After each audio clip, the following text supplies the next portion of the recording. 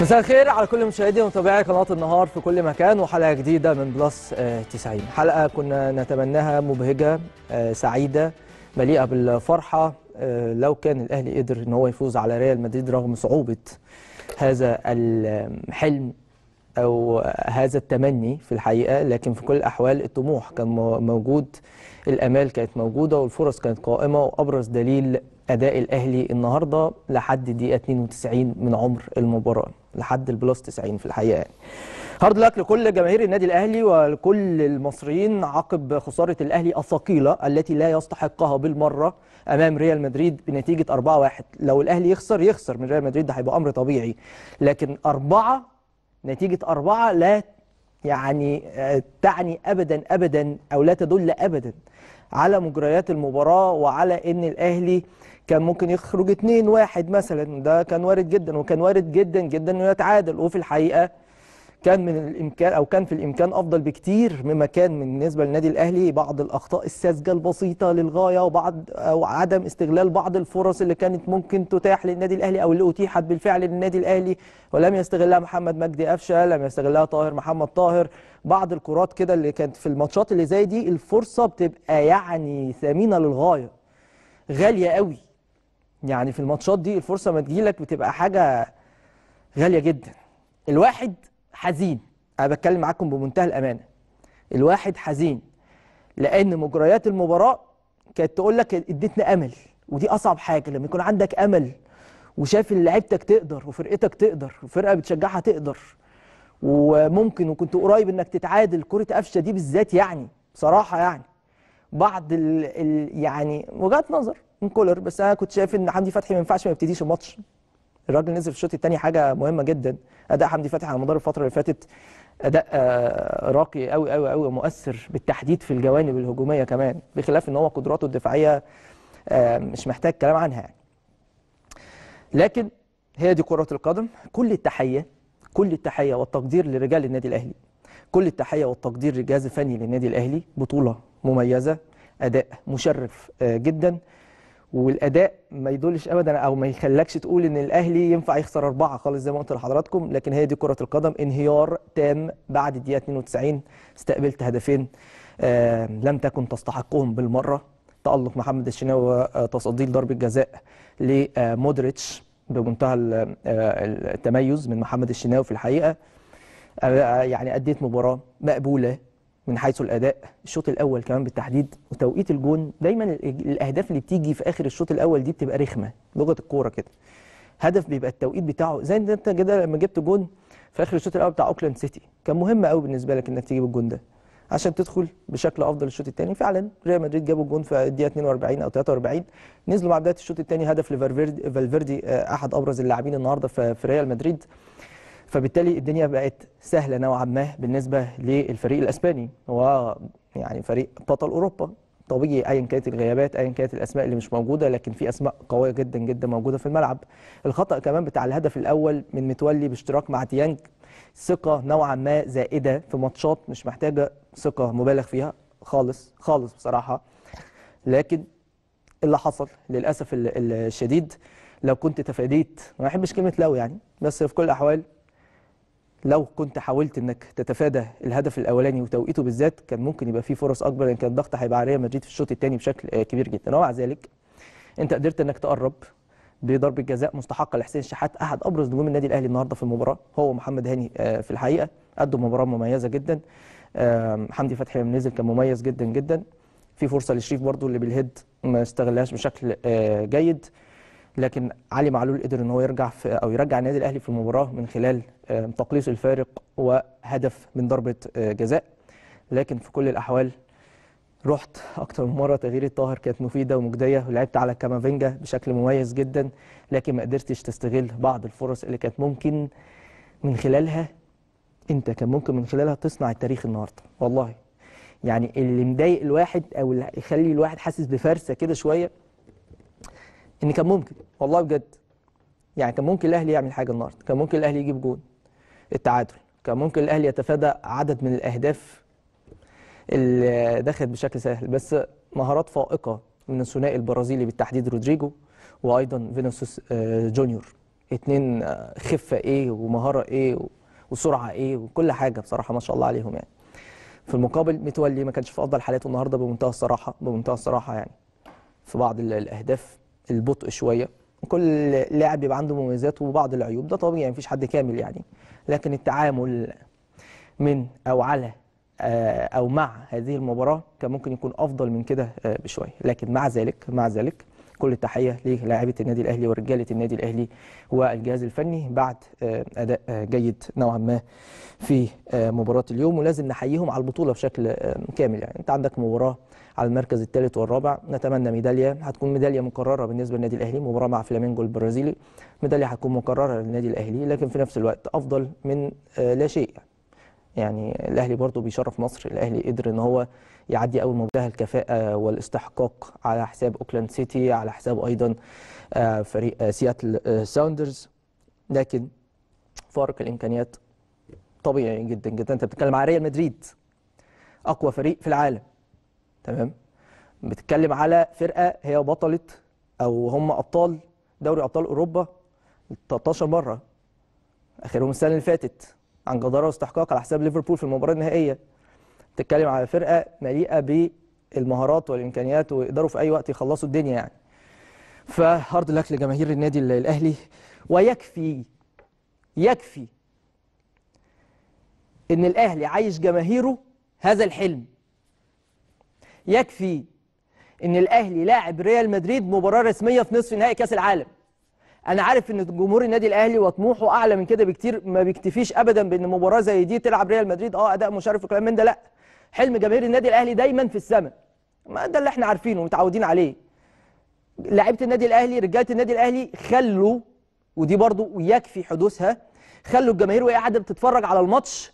يلا هات الجون هات جون التعادل يلا يا قفشه ممكن يا طاهر مش عارف إيه. دي لوحدها أو ده شعور بإنك بتقابل منافس بحجم ريال مدريد ويبقى عندك آمال وعشم كبير قوي في إنك تجيب هدف تعادل وإن أنت في أجواء المباراة وإن أنت بتروح على الجون وبتقدر دي بر أو ده برضو شعور مميز جدا عاشوا جماهير النادي الأهلي من خلال رجالتهم. رجالتهم اللي كانوا محتاجين شوية تركيز أكبر من كده تركيز أكبر وأكتر من كده وكانت الأمور ممكن تتغير. الواحد لحد الدقيقة 92 كان عنده أمل إن الأهلي يتعادل ونروح لل extra time. والله. وإنت آه بتلعب ريال مدريد. وإنت آه فرق الإمكانيات كبير وواضح. ده level تاني. ريال مدريد level الوحش. دول ناس بيلعبوا في أوروبا. إنت آه مسيطر على القارة الإفريقية. إنت فريق كبير. إنت بطل القرن. كل هذه الأمور. لكن بتلاعب level إنت يعني بعيد عنك. level بعيد عنك. أبرز لاعبي العالم. أبرز لاعبي العالم.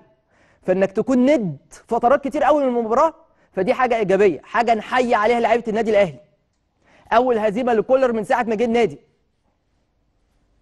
أول هزيمة لكولر بعد حوالي 22 مباراة تقريبا بدون ولا هزيمة. أربع أو خمس تعادلات والباقي فوز. ولما تيجي الهزيمة تكون على حساب مين؟ بطل العالم ريال مدريد مش بطل أوروبا بس. فكل دي أمور إيجابية.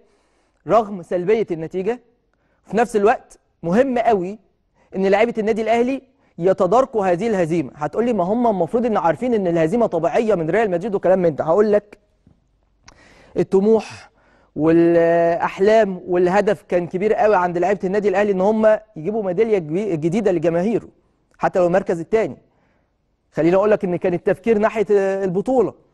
ليه لأ؟ الهلال موجود في النهائي. نتمنى له رب كل التوفيق في مباراة ريال مدريد في النهائي. فكان في أمال في أحلام آه، كبيرة. فممكن ده يهبط من معنويات لاعبي النادي الأهلي فالدنيا تكر معاهم. لا لازم ياخدوا بالهم من حتة زي دي. المتوقع إيه؟ إن ريال مدريد يكسب. مش هنضحك على بعض. الفرص كانت قد إيه؟ ها؟ 80 20 مثلا لصالح ريال مدريد. هنضحك على بعض؟ لا ده حقيقي. لكن كل ان انت قاعد تتفرج على الماتش وعندك امال ان الاهلي ممكن يتعادل أو الاهلي ممكن يتقدم قبل الهدف الأول أو أو أو دي لوحدها حاجة إيجابية. أنا نفسي بس مش عارف دي تتعمل إزاي بس نفسي إن إحنا نكون متعودين على مثل هذه المباريات. هقول لك تتعمل إزاي أبسط حاجة يعني. منتخبنا الوطني لازم يلعب مباريات تقيلة مع منتخبات زي ما لعبنا بلجيكا وكسبنا بلجيكا. وبنقدر وبنحقق وبنكسب لعبنا إيطاليا والبرازيل وعملنا ماتشات في 2009 ممتازه في كأس القارات. بس لازم المباريات دي تبقى متكررة. ما تجيش تجيب النيجر ومع كامل الاحترام لمختلف المنتخبات في القارة الأفريقية فماتشات بتبقى مضمونة وأنت بتلعبها وكلام من ده. فبتكسب وبتطمن وإحنا جامدين قوي إحنا حلوين قوي لا إحنا عايزين احتكاكات زي دي. أنا بتكلم على منتخب مصر. بتكلم على عدد كبير قوي من لاعبي النادي الأهلي بيبقوا موجودين في منتخب مصر. وعدد كبير قوي من لاعبي الأندية الأخرى الزمالك وعدد من من الأندية المختلفه موجودين في منتخب مصر. فأنت لما تلعب وتعمل احتكاكات زي دي بشكل مميز فبالتالي الرهبة مش هتكون موجودة. الرهبة مش هتكون موجودة. الثقة وإنك تصدق إن ممكن تجيب جون في ريال مدريد دي كان محتاجها لاعبي النادي الأهلي النهارده. كانوا محتاجينها بصراحة إنك تكون مصدق إن أنت هتجيب جون في ريال مدريد. تمام؟ في بعض الأحيان ال... الكور اللي كانت بتتلعب في الخط الخلفي بالنسبة للنادي الأهلي أو تعامل لاعبي الوسط ولاعبي آه، خط الدفاع في النادي الأهلي بالثقة الزائدة نتج عنها هدف بخطأ ساذج قوي كان ممكن إن أنت تتفاداه من خلال آه، فينيسيوس آه، جونيور. فسع... يعني هي معادلة. يعني هي معادلة. أنت تحاول إنك ما تغلطش وفي نفس الوقت تكون مصدق نفسك إنك بتلعب ريال مدريد مصدق نفسك إنك ممكن تكسب مصدق نفسك إنك ممكن تعدي. يعني أمور محتاجة مزيد من مثل هذه الاحتكاكات عشان تاخد على الأجواء وعلى الجو. النقطة الثانية طبعا جماهير النهارده حاضرين في المباراة بشكل مكثف ودي حاجة آه، إيجابية. أتمنى أتمنى يا جماعة الله لأن موضوع الجماهير ده وعودتهم للمدرجات في الملاعب المصرية بشكل كامل والله هيفرق قوي مع شخصيات الشخصيات بتاعت لعيبتنا شخصيات لاعبي منتخب مصر لاعبي الأهلي لاعبي الزمالك الانديه الجماهيرية دي. لما تلعب بالضغوط الجماهيرية وتتعود عليها وتاخد على الأجواء دي مش هتبقى قلقان حتى لو بنسبة صغيرة زي ما شفنا النهارده مثلا. ضغط جماهيري كبير في عدد كبير من المتابعين آه، حاجات كتير قوي وعناصر كتيرة جدا ساهمت في إنك تبقى عندك نوع من أنواع القلق. لكن النهارده من ضمن الناس اللي ادوا بشكل مميز بصراحة محمد عبد المنعم. ده كواليتي عالمي وجهة نظري يعني. لعيب عالمي. لعيب يستحق يلعب في أي حتة في أوروبا يستحق مليون في المية. كورته عالية. مدافع قوي. لعيب عنده شخصية. دي الحاجات اللي انت بتبقى محتاجها دايما في الكرة المصرية. بس كل لما الجماهير ترجع باعداد أكبر ومكثفه طبعا دي رؤى للجهات الأمنية لهم كل التقدير والاحترام وما اضرب كل شيء يعني. لكن في كل الأحوال لو في فرصة يا جماعة لو في فرصة إن الجمهور يرجع فدي هتبقى حاجة رائعة لمستقبل الكرة المصرية. لأن لعيبتنا رجالتنا الجيل ده كله تقريبا ما تعودش إنه يلعب تحت ضغط جماهيري. مش بقول إن ده مبرر النهارده على فكرة لأ. بس ده هيساعد لما تلعب تحت ضغط جماهيري في الدوري المصري أو في أي مباراة من المباريات تمام؟ ده هيساعد على تقوية شخصية اللاعبين المصريين. فتلاقي تيجي في الماتشات اللي زي دي تلاقي نفسك تلاقي نفسك جاهز ذهنيا ونفسيا قبل بدنيا وفنيا. كل دي أمور كويسة. بالمناسبة يحسب لكولر جرأته يعني أنا الراجل النهارده آه خلوا لي كولر شوية يعني. تحسب له جرأته. الراجل ما نزلش بنفس التكتيك اللي لعب مثلا بيه موسيماني في مباراة البايرن اللي هو أنا عايز أخسر أو لو هخسر أخسر واحد ولا اتنين يعني. الراجل نازل حاطط في دماغه استراتيجية الهجوم لما الكرة تكون معاه. بدليل إنه لاعب قفشة. بدليل إنه خلى عبد القادر من بداية المباراة. بدليل حسين الشحات ومحمد شريف. ممكن ناس تختلف شوية تقول لك محمد شريف كان أفضل بيرسي تاو؟ آه ممكن بصراحة. ممكن مش بقلل من محمد شريف لا لعيب كويس طبعا لعيب كبير. لكن في نفس الأحو... في كل الأحوال رؤية كولر تحترم. أنا ضد دايما حتة إيه؟ إن عشان مدرب خسر مباراة آه أنت غلطت وكان لازم تلعب فلان وكان لازم آه نختلف في وجهة النظر. تاني هقولها أنا كان نفسي حمدي فتحي يبتدي المباراة دي المباراة دي ويبقى الثلاثه في نص الملعب عادي. حمدي وديانج والسوليه عادي السوليه مش أفضل حالاته بالمناسبة النهارده. لعيب كبير ولعيب مميز بس مش أفضل حالاته. ديانج حتى برضو مش هو ده ديانج اللي يعني آه، عاقدين عليه آمال كبيرة قوي قوي في مثل هذه اللقاءات يعني. ربما إجهاد المباراة كل ثلاث أيام مباراة في كأس عالم آه، بتنافس بدني قوي للغاية لكن في كل الأحوال رؤى كولر تحترم. مدرب كبير مدرب عنده شخصية مدرب جريء. وده على فكرة اللي دايما كان جمهور الأهلي بيطلبه. إحنا يكون في مدرب إحنا يا جماعة كجمهور النادي الأهلي مثلا ده لسان حال جماهير النادي الأهلي إحنا عايزين مدرب يكون عارف شخصية النادي الأهلي إحنا لو لعبنا مين عايزين ننزل نهاجم ونجيب أجوان وكلام من ده. الراجل اشتغل بالفلسفة دي. الراجل حاول بالطريقة دي. فدي حاجة تحسب له. بس اللي مزعل الواحد بصراحة هي الأربعة دي الأربعة اللي يستحقها النادي الأهلي. بالمرة أي واحد قاعد بيتفرج على المباراة يقول لك الأهلي آه لو خسر ما يخسرش أربعة. ده في ناس كمان تقول لك لا الأهلي ما يستحقش الهزيمة. بصراحة الأهلي عمل مباراة كويسة يا جماعة. لكن الأربعة دي يعني لما تيجي كده تراجع التاريخ تلاقي أربعة واحد يقول لك إيه ده ده الأهلي كان واقع خالص. ترجع يقول لك بقى الأهداف جت في دي الأهلي في الآخر خسر 4 1 ما كناش نتمنى الأربعة. ما كناش نتمنى الأربعة. 2 1 كانت مقبولة جدا بالأداء ده. ثلاثة برضه هي زي الأربعة بالنسبة لي.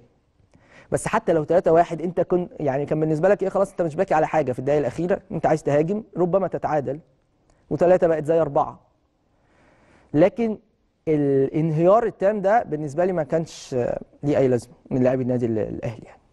لكن في كل الأحوال هي دي كرة القدم وهو ده الوضع الحالي وهي دي أو هو ده فارق الإمكانيات ما بين النادي الأهلي و أو مش النادي الأهلي ما بين الكرة المصرية وما بين الكرة الأوروبية. الأهلي بإذن الله عنده مباراة مع فلامينجو على المركز الثالث شدوا حيلكم يا رجالة. بإذن الله تجيبوا الميدالية. الماتش هيكون يوم السبت الساعة خمسة ونص بتوقيت القاهرة بإذن الله. آه، تعالى. تسعة ولا خمسة ونص يا جماعة؟ استقروا على حاجة. آه طيب خمسة ونص الأهلي وريال مدريد الساعة 9 طبعا يعني. ده الم- دي المباراة النهائية هتكون مع الهلال. نتمنى كل التوفيق للهلال ال- آه، السعودي في هذه المباراة. لكن رجالة الأهلي لازم يركزوا في إن آه خسرنا من ريال مدريد أو الأهلي خسر من ريال مدريد ودي نتيجة أقرب للطبيعة. لكن في نفس الوقت لازم تحافظ على فرصه فرصك إنك تخرج بميدالية. ده المطلوب من رجالة النادي الأهلي. انسى الماتش النهارده. أنت لما بتكسب بتفرح في نفس اليوم وبتفكر من اليوم اللي بعديه على طول في المباريات ال- ال- التالية اللي جاية لك على طول. النهارده حتى لما تخسر ما تعيش حالة الخسارة كتير. ازعل النهارده. بكرة ركز في مباراة فلامينجو. عندك فرص على فكرة. فرقة فلامينجو مش هي ريال مدريد. آه فرقة برازيلية فرقة قوية بتاع بطل أمريكا الجنوبية. لكن في نفس ال- ال- الوقت تقدر تحقق نتيجة إيجابية جدا جدا قدامهم. خصوصا إن أنت عندك مناسبات قبل كده قدرت إن أنت تحقق آه، مثل هذه النتائج. لما كسبت مثلا بالميراس حتى لو بضربات الجزاء بس خد خدت ميدالية البرونزية السنة اللي قبل اللي فاتت يعني. فكل دي آه، أمور آه، مهمة. يجب التفكير فيما هو قادم. وكنا نأمل إن إحنا النهارده نبقى مبسوطين وفرحانين لكن قدر الله ما شاء فعل. وهارد لك للنادي الأهلي وجماهيره للكرة المصرية والقادم دائما هو الأهم. طيب النهارده في الحقيقة عندنا أكتر آه، من جزئية. الجزء الثاني من حلقة اليوم هينورني ويشرفني في الاستوديو كل من الكابتن رمضان السيد الكابتن إبراهيم السعيد وأيضا الكابتن محمد صلاح النجم الكبير. عشان نتكلم معاهم على آه، رؤيتهم التحليلية لهذه المباراة. طب خلينا نروح لمداخلة مهمة جدا جدا جدا مع أمين صندوق النادي ال- الأهلي المهندس خالد مرتجي. ونبارك له برضو على آه، أداء النادي الأهلي وعلى النتائج المميزة وعلى تشريف النادي الأهلي للكرة المصرية من خلال هذه البطولة. يا باشمهندس مساء الخير.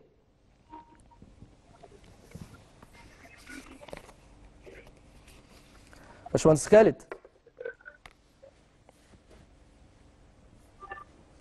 باشمهندس. ألو؟ ألو؟ يا باشمهندس مساء الخير. منورنا ومشرفنا في بلس 90 على قناة النهار. لا أنا مش سامع خالص. الصوت بعيد قوي بالحقيقة طب يا ريت يا جماعة نعاود الاتصال بالمهندس خالد مرتجي آه، أمين صندوق النادي ال- الأهلي عشان نتكلم معاه في المباراة وبعض الأمور المهمة جدا جدا جدا خصوصا آه، بعد أداء النادي الأهلي في البطولة في مجمل البطولة ولسه في آه، يعني مباراة مهمة جدا وفاصلة. هي من خلالها يقدر النادي الأهلي يفوز بالمركز الثالث زي ما عودنا دايما. وميدالية برونزية هتكون مهمة جدا بالنسبة للنادي ال- الأهلي. وكل التقدير كل التقدير للمجهود الكبير اللي بذله الفريق على مدار البطولة. حتى الله لا يقدر لو خسر الأهلي من فلامينجو برضه آه، أداء مم- آه، مميز ومشرف. لكن دايما حلم جمهور النادي الأهلي هو أحسن حاجة في الدنيا لو عايزين يا جماعة ناخد البطولة. بس هي دي كرة القدم وأنت بتلعب مستويات لازم يكون في تفهم لجزئية زي دي آه، بشكل آه، كبير آه، جدا جدا يعني. أكيد بكرة هيكون في بعض التدريبات الاستشفائية بالنسبة للاعبين اللي شاركوا في المباراة بشكل كامل تدريبات بدنية لبعض اللاعبين اللي شاركوا في أجزاء قليلة من هذه المباراة. لكن أكيد برضو يقدر النادي الأهلي إن هو يعني يتدارك هذه الهزيمة بشكل أو بآخر وده المطلوب. وده بالمناسبة اللي اتعودنا عليه من النادي الأهلي. يعني انت حتى لما بتخسر ماتش حتى لو ماتش زي ده تمام؟ آه، بقى تقدر تتدارك وترجع. الدنيا ما إيه ما تكرش معاك كده تخش هزيمة في هزيمة في هزيمة لا صعبة شوية على النادي الأهلي صعبة شوية رغم حتى صعوبة المنافسة رغم حتى لو بتلعب فلامينجو ال- البرازيلي. بس شفنا الهلال السعودي ما شاء الله يعني قدروا إن هم يفوزوا على فلامينجو بظروف المباراة كمان ساعدت لكن هم استحقوا الفوز 3 2 فأنت مش أقل من الهلال بالعكس أنت كسبان الهلال السنة اللي فاتت أربعة. في آه، تحديد المركز الثالث والرابع برضو في قبل في كأس العالم للأندية هناك في أبو ظبي. فتقدر إنك تفوز على الفرقة اللي فازت اللي فاز عليها الهلال السعودي اللي هي فرقة فلامينجو عندهم حالة طرد برضو من أبرز اللاعبين آه، اتطرد في خط الدفاع على ما أتذكر يعني. ففي فرص كبيرة بالنسبة للنادي ال- الأهلي إن هو آه، يفوز في هذه المباراة. لسه ما رجعناش للمهندس خالد مرتجى يا جماعة؟ طيب ماشي. النهارده بعض الأمور يعذر الواحد ممكن يكون آه، حالة الضيق باينه علينا شوية لأن كان في عشم كبير إن الأهلي يقدر يعمل شكل أفضل أو مش شكل أفضل من كده. يعني أربعة دي أنا مش قادر أقتنع إن أربعة يعني أربعة في آخر دقيقتين يجي فيه الجونين أو آخر خمس دقايق في الوقت الضايع يجي فيه الجونين فالموضوع صعب شوية صعب شوية على كل المصريين اللي أكيد كانوا يتمنوا الأهلي يظهر بشكل أفضل من كده. بكتير أو النتيجة تكون أفضل من كده بكتير يعني. لكن هي دي آه، ال- القدم في الحقيقة. طيب كنت بكمل لحضراتكم بعض الأخبار اللي بتتعلق بالأهلي واللي بكرة أكيد هيستأنف استعداداته آه، لمباراة آه، فلامينجو بشكل آه، قوي وبتركيز كبير. وهنا الدور كله هيكون على الجهاز الفني. كولر والجهاز المعاون وأيضا الكابتن سيد عبد الحفيظ. إزاي تخرج اللعيبة من الحالة النفسية دي أو من الهزيمة دي بالتحديد. هتقول لي يا عم ما هو طبيعي يخسروا من ريال مدريد. عارف والله عارف والله. بس في النادي الأهلي القصة مختلفة شوية في الحتة دي. أنا أنا عارف أنا بقول لكم إيه. يعني حتى لو خسرت ماتش زي ده بيبقى في زعل. فإن أنت تطلع اللعيبة وتخليهم يركزوا ويفصلوا ما بين الهزيمة دي وإن إزاي يردوا ويحسنوا النتيجة أو الشكل في مباراة فلامينجو ده هيكون تحدي كبير قوي عند الجهاز الفني وبالتحديد الكابتن سيد عبد الحفيظ أكيد كولر بجهازه المعاون وأكيد الكابتن محمود الخطيب آه، رئيس بعثة النادي الأهلي ورئيس مجلس إدارة النادي في إنه أكيد هيكون لي بعض الكلمات ليه خطاب آه، بشكل أو بآخر مع اللاعبين آه، بخصوص إزاي إن إحنا نرجع من المغرب بميدالية برونزية والأهلي يقدر على كده. طيب خلينا نروح لفاصل سريع بعد الفاصل آه، هنرجع نكمل حديثنا عن النادي الأهلي وبعض الأخبار المهمة جدا عن الساحة الرياضية المصرية قبل ما نستقبل ضيوفنا الأعزاء في حلقة اليوم ونتكلم معاهم عن أسباب الهزيمة رغم إن هي هزيمة منطقية في كل الأحوال لكن كان هل الأهلي يقدر يتدارك هذه النتيجة ويقدر إنه يقدم أفضل من كده كمان ولا لأ؟ هنشوف كل الكلام ده على مدار فقرات الحلقة. استنوا يلا بينا. أهلا بحضراتكم مرة آه والله في كل الأحوال يا جماعة الأهلي عايشنا حلم. يعني الأهلي يلاعب ريال مدريد نص نهائي كأس عالم والله ده في حد ذاته يعني أجواء حلوة. يعني أنت تلعب النهارده مش عارف إيه. الأهلي دقايق كتير جدا في المباراة محسسك إن في يعني إيه في آه، ندية بشكل أو بآخر في منافسة. ودي حاجة إيجابية جدا جدا. آه طبعا نفسنا الكرة المصرية تكون أفضل من كده بكتير. نفسنا إن إحنا نقدر في الماتشات اللي زي دي نقدر نحسمها بشكل أو بآخر. ليه لأ؟ لازم نشتغل على كده. لازم نشتغل على كده. ولازم الأهلي يبني على مشاركاته في كأس العالم للأندية. الأهلي اعتاد هذه. مثل هذه المشاركات بشكل طبيعي جدا. الأهلي اعتاد الفوز في كأس العالم للأندية ايا كان. يمكن القارة الوحيدة اللي ما فازش عليها النادي الأهلي هي القارة الأوروبية آه، في آه، بطولات كأس العالم للأندية المختلفة. هو يمكن لعب ماتشين بس مع البايرن. آه، بايرن. وماتش مع ريال مدريد. يعني الموضوع مش محتاج. ففي كل الأحوال هارد لك للنادي الأهلي. لكن المطلوب جدا جدا من لاعبي النادي الأهلي والجهاز الفني إن هم إن شاء الله إحنا اعتدنا من خلالهم على إن هم يكونوا موجودين على منصات التتويج التتويج. إحنا عايزين الميدالية البرونزية بإذن الله تعالى. طيب خلينا نروح لهذه المداخلة. الهامه جدا مع المهندس خالد آه، مرتجي أمين صندوق النادي ال- الأهلي من المغرب. يا باشمهندس مساء الخير. مساء الخير يا أمير ومساء الخير على السادة المشاهدين. نورنا إزاي حضرتك؟ كله تمام؟ الحمد لله. والله زعلان يا أمير hard luck، حاسس. النتيجة لا آه. تعكس الأداء خالص يعني. آه hard luck على النتيجة عن الأداء. بصراحة. hard luck على النتيجة لكن في نفس الوقت يعني الحقيقة. آه، مبروك على أداء النادي الأهلي على مدار البطولة. دايما الأهلي بيشرف مصر. لسه عندنا آمال كبيرة جدا إن الفريق يرجع لنا من المغرب بإذن الله. واحد أحد بميدالية برونزية. والاهلي قادر على كده بكل تأكيد لكن حالة الحزن أكيد لمسنها بشكل كبير لأن الأهلي عود جماهيره دايما على الأحلام والطموحات وإن مفيش حاجة بعيدة في كرة القدم يعني. والله يا أمير الحقيقة إحنا كلنا والبعثة كلها وأنا كنت حاسس حتى يعني في ال- في عين اللعيبة إن في ثقة وفي مم. إن شاء الله هنعمل أداء كويس وهنعمل نتيجة كويسة والله سبحان الله يعني يعني حتى في ال half time.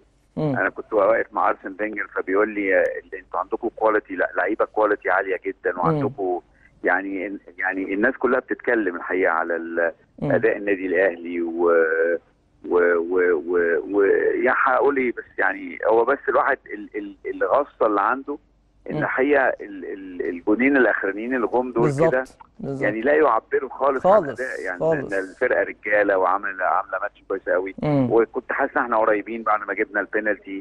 كنت حاسس إن إحنا بعض طيب يا ريت نرجع المهندس خالد مرتجى مرة تانية يا جماعة لأن المداخلة غاية في الأهمية للأسف الخط آه، قطع هو واضح واضح للأسف المشكلة في الخطوط الخطوط المغربية بيقولي لكن واضح حالة الحزن. أنت متخيل يا يعني أنت متخيل التفكير في النادي الأهلي واصل لحد فين؟ إنك زعلان إنك بتخسر من ريال مدريد. زعلان إن أنت جه فيك جونين في الآخر ما لهمش أي لازمة. دي حاجة والله تعتبر إيجابية. أنا مش شايفها حاجة سلبية. حالة الزعل دي إن أنت خسران من ريال مدريد ده حد يعني أمين صندوق النادي الأهلي. واخد بالك؟ ودي نفس الحاله اللي أكيد اللي موجودة عند كل عناصر البعثة هناك في المغرب يعني. فده إن ده اللي يدل على مدى مدى قيمة النادي الأهلي ومدى قيمة أبنائه. وازاي الناس دي بتفكر وإزاي الناس دي بتحلم وازاي الناس دي بتصدق نفسها وبتصدق حلمها. فأنت متخيل إن يجي اليوم إن الأهلي زعلان فيه إنه خسر من ريال مدريد؟ حاجة آه، كبيرة. واضح جدا في نبرة المهندس خالد مرتجي في الحقيقة آه، كم ال- الحزن ال- الكبير بعد الهزيمة لأن فعلا فعلا النتيجة ما تعب- ما تعبرش ابدا ابدا على أداء الأهلي ولا الندية اللي كانت على مدار الدقائق تقريبا لما تيجي تحسبها 80 ولا 85 دقيقة الأهلي ند في الملعب. الأهلي يقدر يتعادل. حتى المهندس خالد مرتجي بيقول لك كده دلوقتي؟ ده تصريح مهم جدا. واقف مع أرسن فينجر طبعا المدرب الشهير قوي قوي المدرب الفرنسي ال- الأسبق لأرسنال. آه، لعدد كبير من السنوات. الراجل أكيد ليه نظرة فنية يعني. بنتكلم على quality اللاعبين. بعد الشوط الأول بين الشوطين مع المهندس خالد مرتجي يقول لك لا عندكم quality لاعبين محترم جدا. فدي إشادة دي شهاده مش إشادة بس من مدرب آه، كبير جدا. اذا إحنا عندنا الكواليتي إحنا عندنا كمصر بقى بتكلم بقى بشكل عام يعني. عندنا اللعيبة اللي تقدر تحقق إنجازات عندنا اللعيبة اللي تقدر تتخطى مثل هذه المباريات. لكن هنرجع للنقطة الأهم إن بإذن الله واحد أحد وأنا عارف إن في شغل كبير قوي قوي من الدولة المصرية إن الأمور ترجع لأقصى طبيعة ليها بعد فترة قليلة بإذن الله تعالى من خلال عودة الجماهير المدرجات ودي حاجة أكيد هتبقى مهمة جدا إن شاء الله بإذن الله يكونوا موفقين فيها. فلما هيرجع الجماهير أو ترجع الجماهير المدرجات فالثقة تبقى للاعبين الضغوط يتعودوا عليها الأجواء اللي زي دي يتعودوا عليها بشكل أكبر يعني. لكن انك تبقى زعلان ان الاهلي خسران من ريال مدريد فدي حاجة كبيرة بصراحة وده وده اللي إحنا متعودين عليه من دايما, من النادي ال- الأهلي يعني. الانطباعات كمان كلها إيجابية عن النادي الأهلي على لاعبين النادي الأهلي دي حاجة برضه مميزة. والناس ممكن تقول لك بقى في البعض يقول لك يا جماعة أنتوا برضه بتحاولوا تخلوا الهزيمة بالنسبة للنادي الأهلي آه، هزيمة آه، شكلها كويس أو حاجة؟ لا بصراحة النتيجة مش حلوة عشان واقع- عشان نبقى منطقيين. النتيجة مش حلوة كنتيجه مش حلوة. لكن كماتش انت بتتفرج عليه؟ لا الأهلي ما يستحقش ابدا النتيجة دي بمنتهى الأمانة يعني. الأهلي ما يستحقش النتيجة دي. لما نيجي نتكلم في بعض الجوانب الفنية وأنا مش من عادتي أحب قوي أتدخل في حاجة أو أتكلم في حاجات فنية لأن في اختصاصات وأنا بحترم جدا اختصاصاتي يعني. بما إن الواحد مشجع الواحد يعني آه، مشاهد متابع للمباريات. تاني هرجع لنقطة إن كان ممكن ممكن بس ده ترجع لشخصية كولر وترجع لرغبات كولر وتحترم بشكل كبير جدا. الراجل عايز يستغل أي فرص أو يستغل الكرة وهي معاه بشكل مميز. فعشان كده لاعب قفشه أنا كنت أفضل في الماتشات اللي زي دي. حمدي فتحي بدليل اللي عمله بعد ما نزل. لعيب مميز جدا ولعيب مهم قوي لا يهاب أبدا مثل هذه المباريات آه، حمدي آه، فتحي يعني. هاني ليه كل التحية علي معلول. والله رجالة يعني عملوا مباراة آه، كويسة. النتيجة بس هي اللي صعبة آه، شوية وقاسية على جماهير النادي الأهلي وجماهير الكرة المصرية بشكل عام. طيب. النهارده في خبر آه، مهم جدا وهو بيتعلق بمحمود عبد المنعم آه، كهربا. خطاب من الفيفا وصل الاتحاد المصري لكرة القدم إن كهربا مطالب بسداد الغرامة اللي عليه لصالح نادي الزمالك خلال شهرين بحد أقصى مع كمان آه، سداد آه، 30 ألف فرنك خلال شهر أتعاب القضية. بس في نفس الوقت حق لكهربا الاستئناف على هذا الحكم لدى المحكمة الدولية الرياضية كاس ال- بعد شهرين في حالة عدم سداد كهرباء آه، للمبالغ المستحقة. أنا بس مش عايز أفتي في القصة دي قوي لو يا ريت يا جماعة نجيب حد من المختصين لو عامل عماير ولا حاجة حد يقول لنا القصة ممكن تمشي إزاي خلال الفترة اللي جاية. بس في كل الأحوال يا جماعة كهرباء مطالب انه يدفع فلوس نادي الزمالك. طالما في إقرار من الاتحاد ال- الدولي لكرة القدم أو المحكمه الرياضيه أو كذا أو كلام من ده تمام إن كهرباء عليه غرامة ولازم تدفع فهي لازم تدفع. بس أنا بشوف إن هيبقى في صعوبة كبيرة قوي على كهرباء انه يدفع الغرامة. فلو ما دفعش غرامة هيتوقف.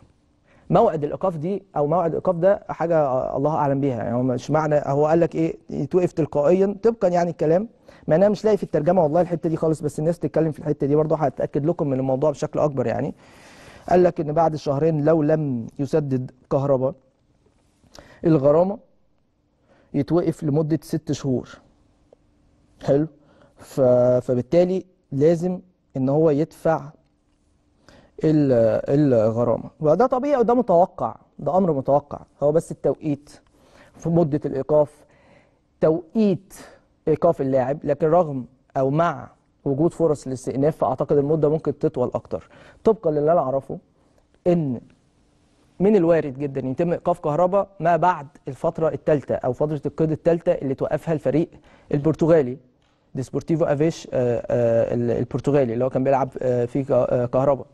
لكن الأمور هتمشي إزاي في الجوانب القضائية ومثل هذه الأمور أكيد هنعرفها بشكل أكبر من خلال آه، يعني تواصلنا مع عدد من المصادر ونبلغ حضراتكم بالجديد يعني. لكن كهرباء مطالب انه يدفع الفلوس؟ مطالب انه يدفع الفلوس. إمتى؟ المفروض خلال الشهرين طبقا للحكم اللي صدر النهارده أو طبقا للقرار اللي خرج ال- ال- النهارده. مع وضع في الاعتبار يا جماعة أنا بأكد لكم إن في صعوبة كبيرة قوي قوي إن كهرباء يدفع ال 2 مليون و400 ألف دولار. يعني أي حد هيجي عليه غرامة بالمبلغ ده صعب قوي إن هو يدفعها مرة واحدة. صعب. المفروض على فكرة إن ممثلي كهرباء أو المحامين بتوع كهرباء مطمنين. أكيد ليهم مبرراتهم. ده طبقا للمعلومات اللي عندنا ليهم مبرراتهم. لكن الغرامه تقيلة ولو مجبر كهرباء إنه يدفعها في المدة دي فأنا بشوف إن في صعوبة. فبشوف إن في فرص تانية لإيقاف كهرباء. نتكلم بمنتهى الوضوح. في فرص قائمة لإيقاف كهرباء. هنا السؤال الأبرز. الناس هتيجي تسألك هل الأهلي ممكن يدفع الغرامه هل الأهلي ممكن يساهم مع كهرباء في دفع الغرامة؟ هل الأهلي هيكون له دور في دفع الغرامة آه، اللي على كهرباء أنا بأكد لحضرتك لأ. هتقول لي إزاي وكهرباء ولاعيب كبير والأهلي محتاجه ولازم مش عارف إيه وكلام من ده؟ تمام؟ أنا بقول لك لأ. الأهلي ما يقدرش مش ما يقدرش ما ينفعش يدفع الغرامة الكهرباء ما ينفعش. الأهلي عليه جهات رقابية. لما بتطلع مليم من خزنة النادي لازم بيكون في ورق بكده أنت مطلعها ليه؟ عشان إيه؟ مقابل إيه كلام من ده؟ ما ينفعش تطلع فلوس في قضية انت مش طرف فيها. فالأهلي مش طرف في قضية كهرباء مع نادي الزمالك. فالأهلي مش هيدفع فلوس مش من حق كهرباء لدى النادي في هذه القضية. فاهم قصدي إيه؟ كهرباء هو اللي هيبقى منوط بدفع هذه المبالغ. إزاي؟ الله أعلم. دي حاجة تخص كهرباء. أتمنى له رب الله يكون في عونه. بصراحة موقف صعب جدا. والفلوس كتيرة قوي. الفلوس كتيرة قوي. إزاي هيقدر يدفعها؟ مش مش قادر يعني أتخيل لأن الموضوع صعب آه، جدا. وفي نفس الوقت اللي يقدر يساعد فيه النادي الأهلي إن هو مثلا لو هو كهرباء أنا بقول لك معلومة كهرباء عقده في النادي الأهلي 10 مليون جنيه في السنة.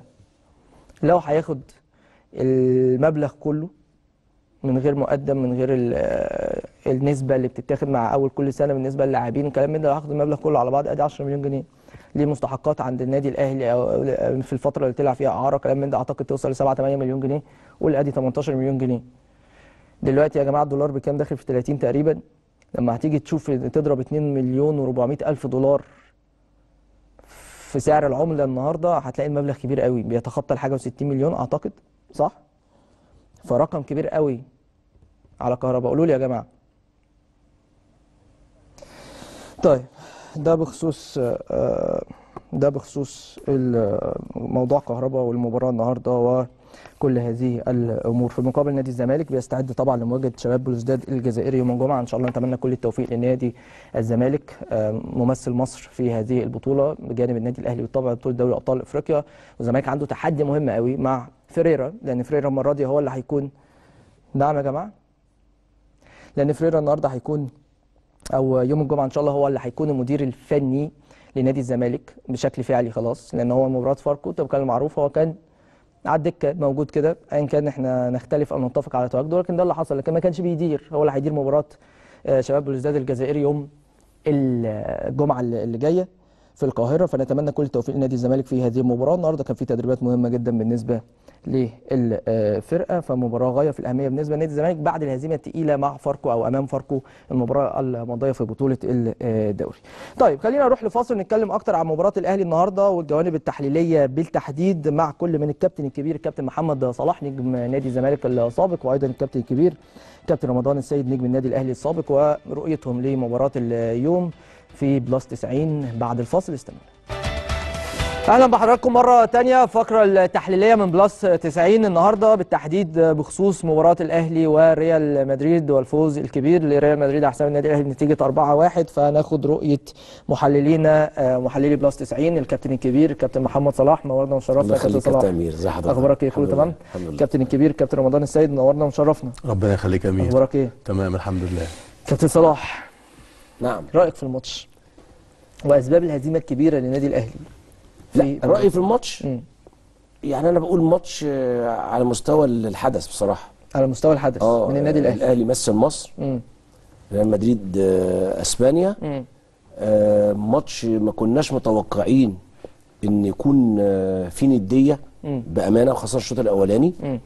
آه، أسباب الهزيمة آه، أنا عايز أقول حاجة الناس ما تزعلش مني لما الأهلي والزمالك وفرقة كبيرة تلاعب فرقة كبيرة زيها لازم تصدق تصدق تصدق ان هي بتلاعب ريال مدريد مم. ليه؟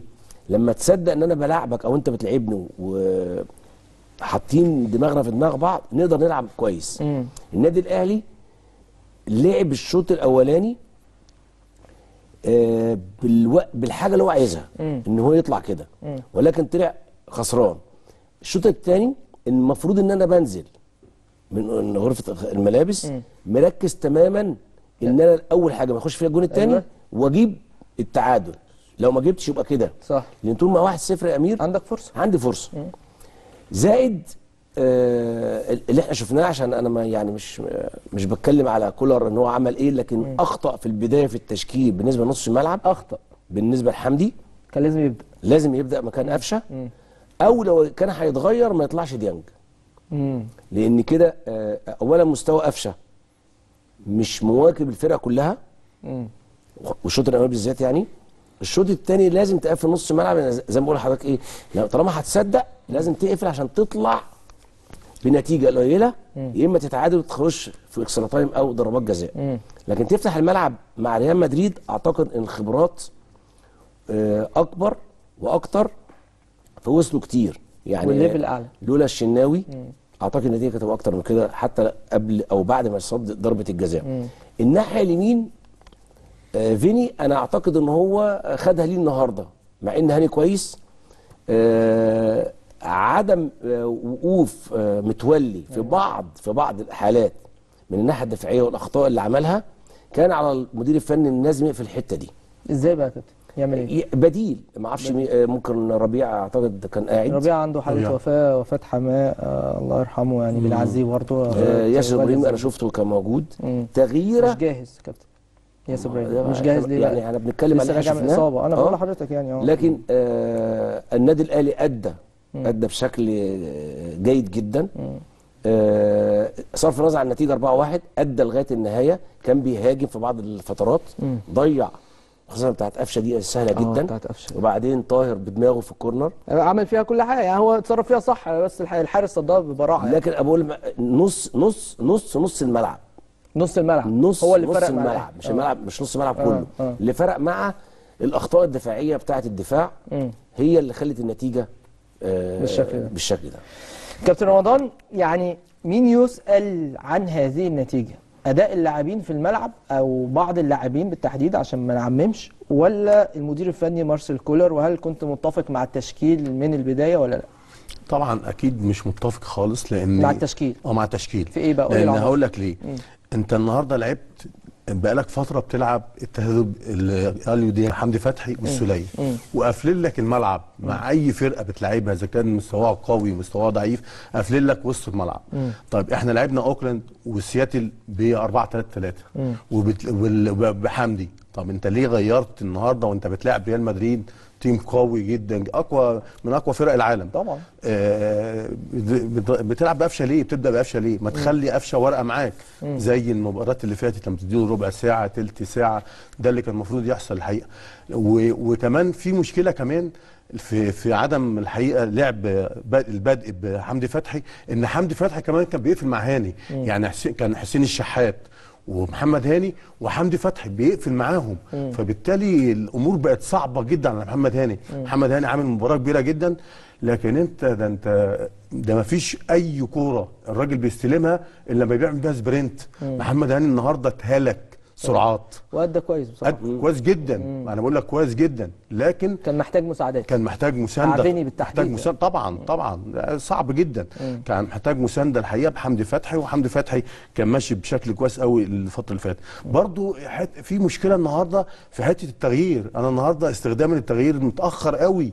ده أنت بتلاعب ريال مدريد يعني اللعيبة بتاعتك استهلكت بدنيا. طب أنت ليه اتاخرت يعني اتأخر بشكل كبير جدا.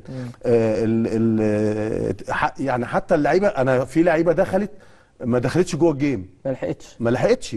ما لحقتش تخش الجيم وفي نفس الوقت الوقت اللي هم خدوه لا ما يلحقوش يخشوا جوه الجيم.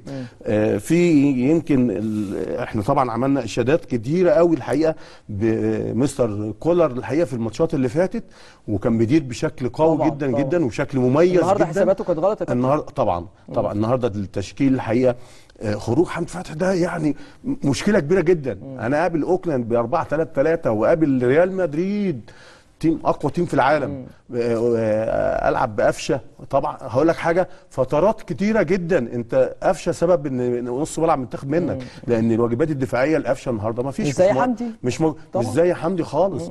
وأنت كمان يعني انت وصلت أو وصلت مع حمدي ان انت بقيت تديله واجبات أيوة. ان يخش أيوة. 18 أيوه. وبينجح فيها. ده وين- ونجح. مش يعني مش لسه هينجح. ده نجح.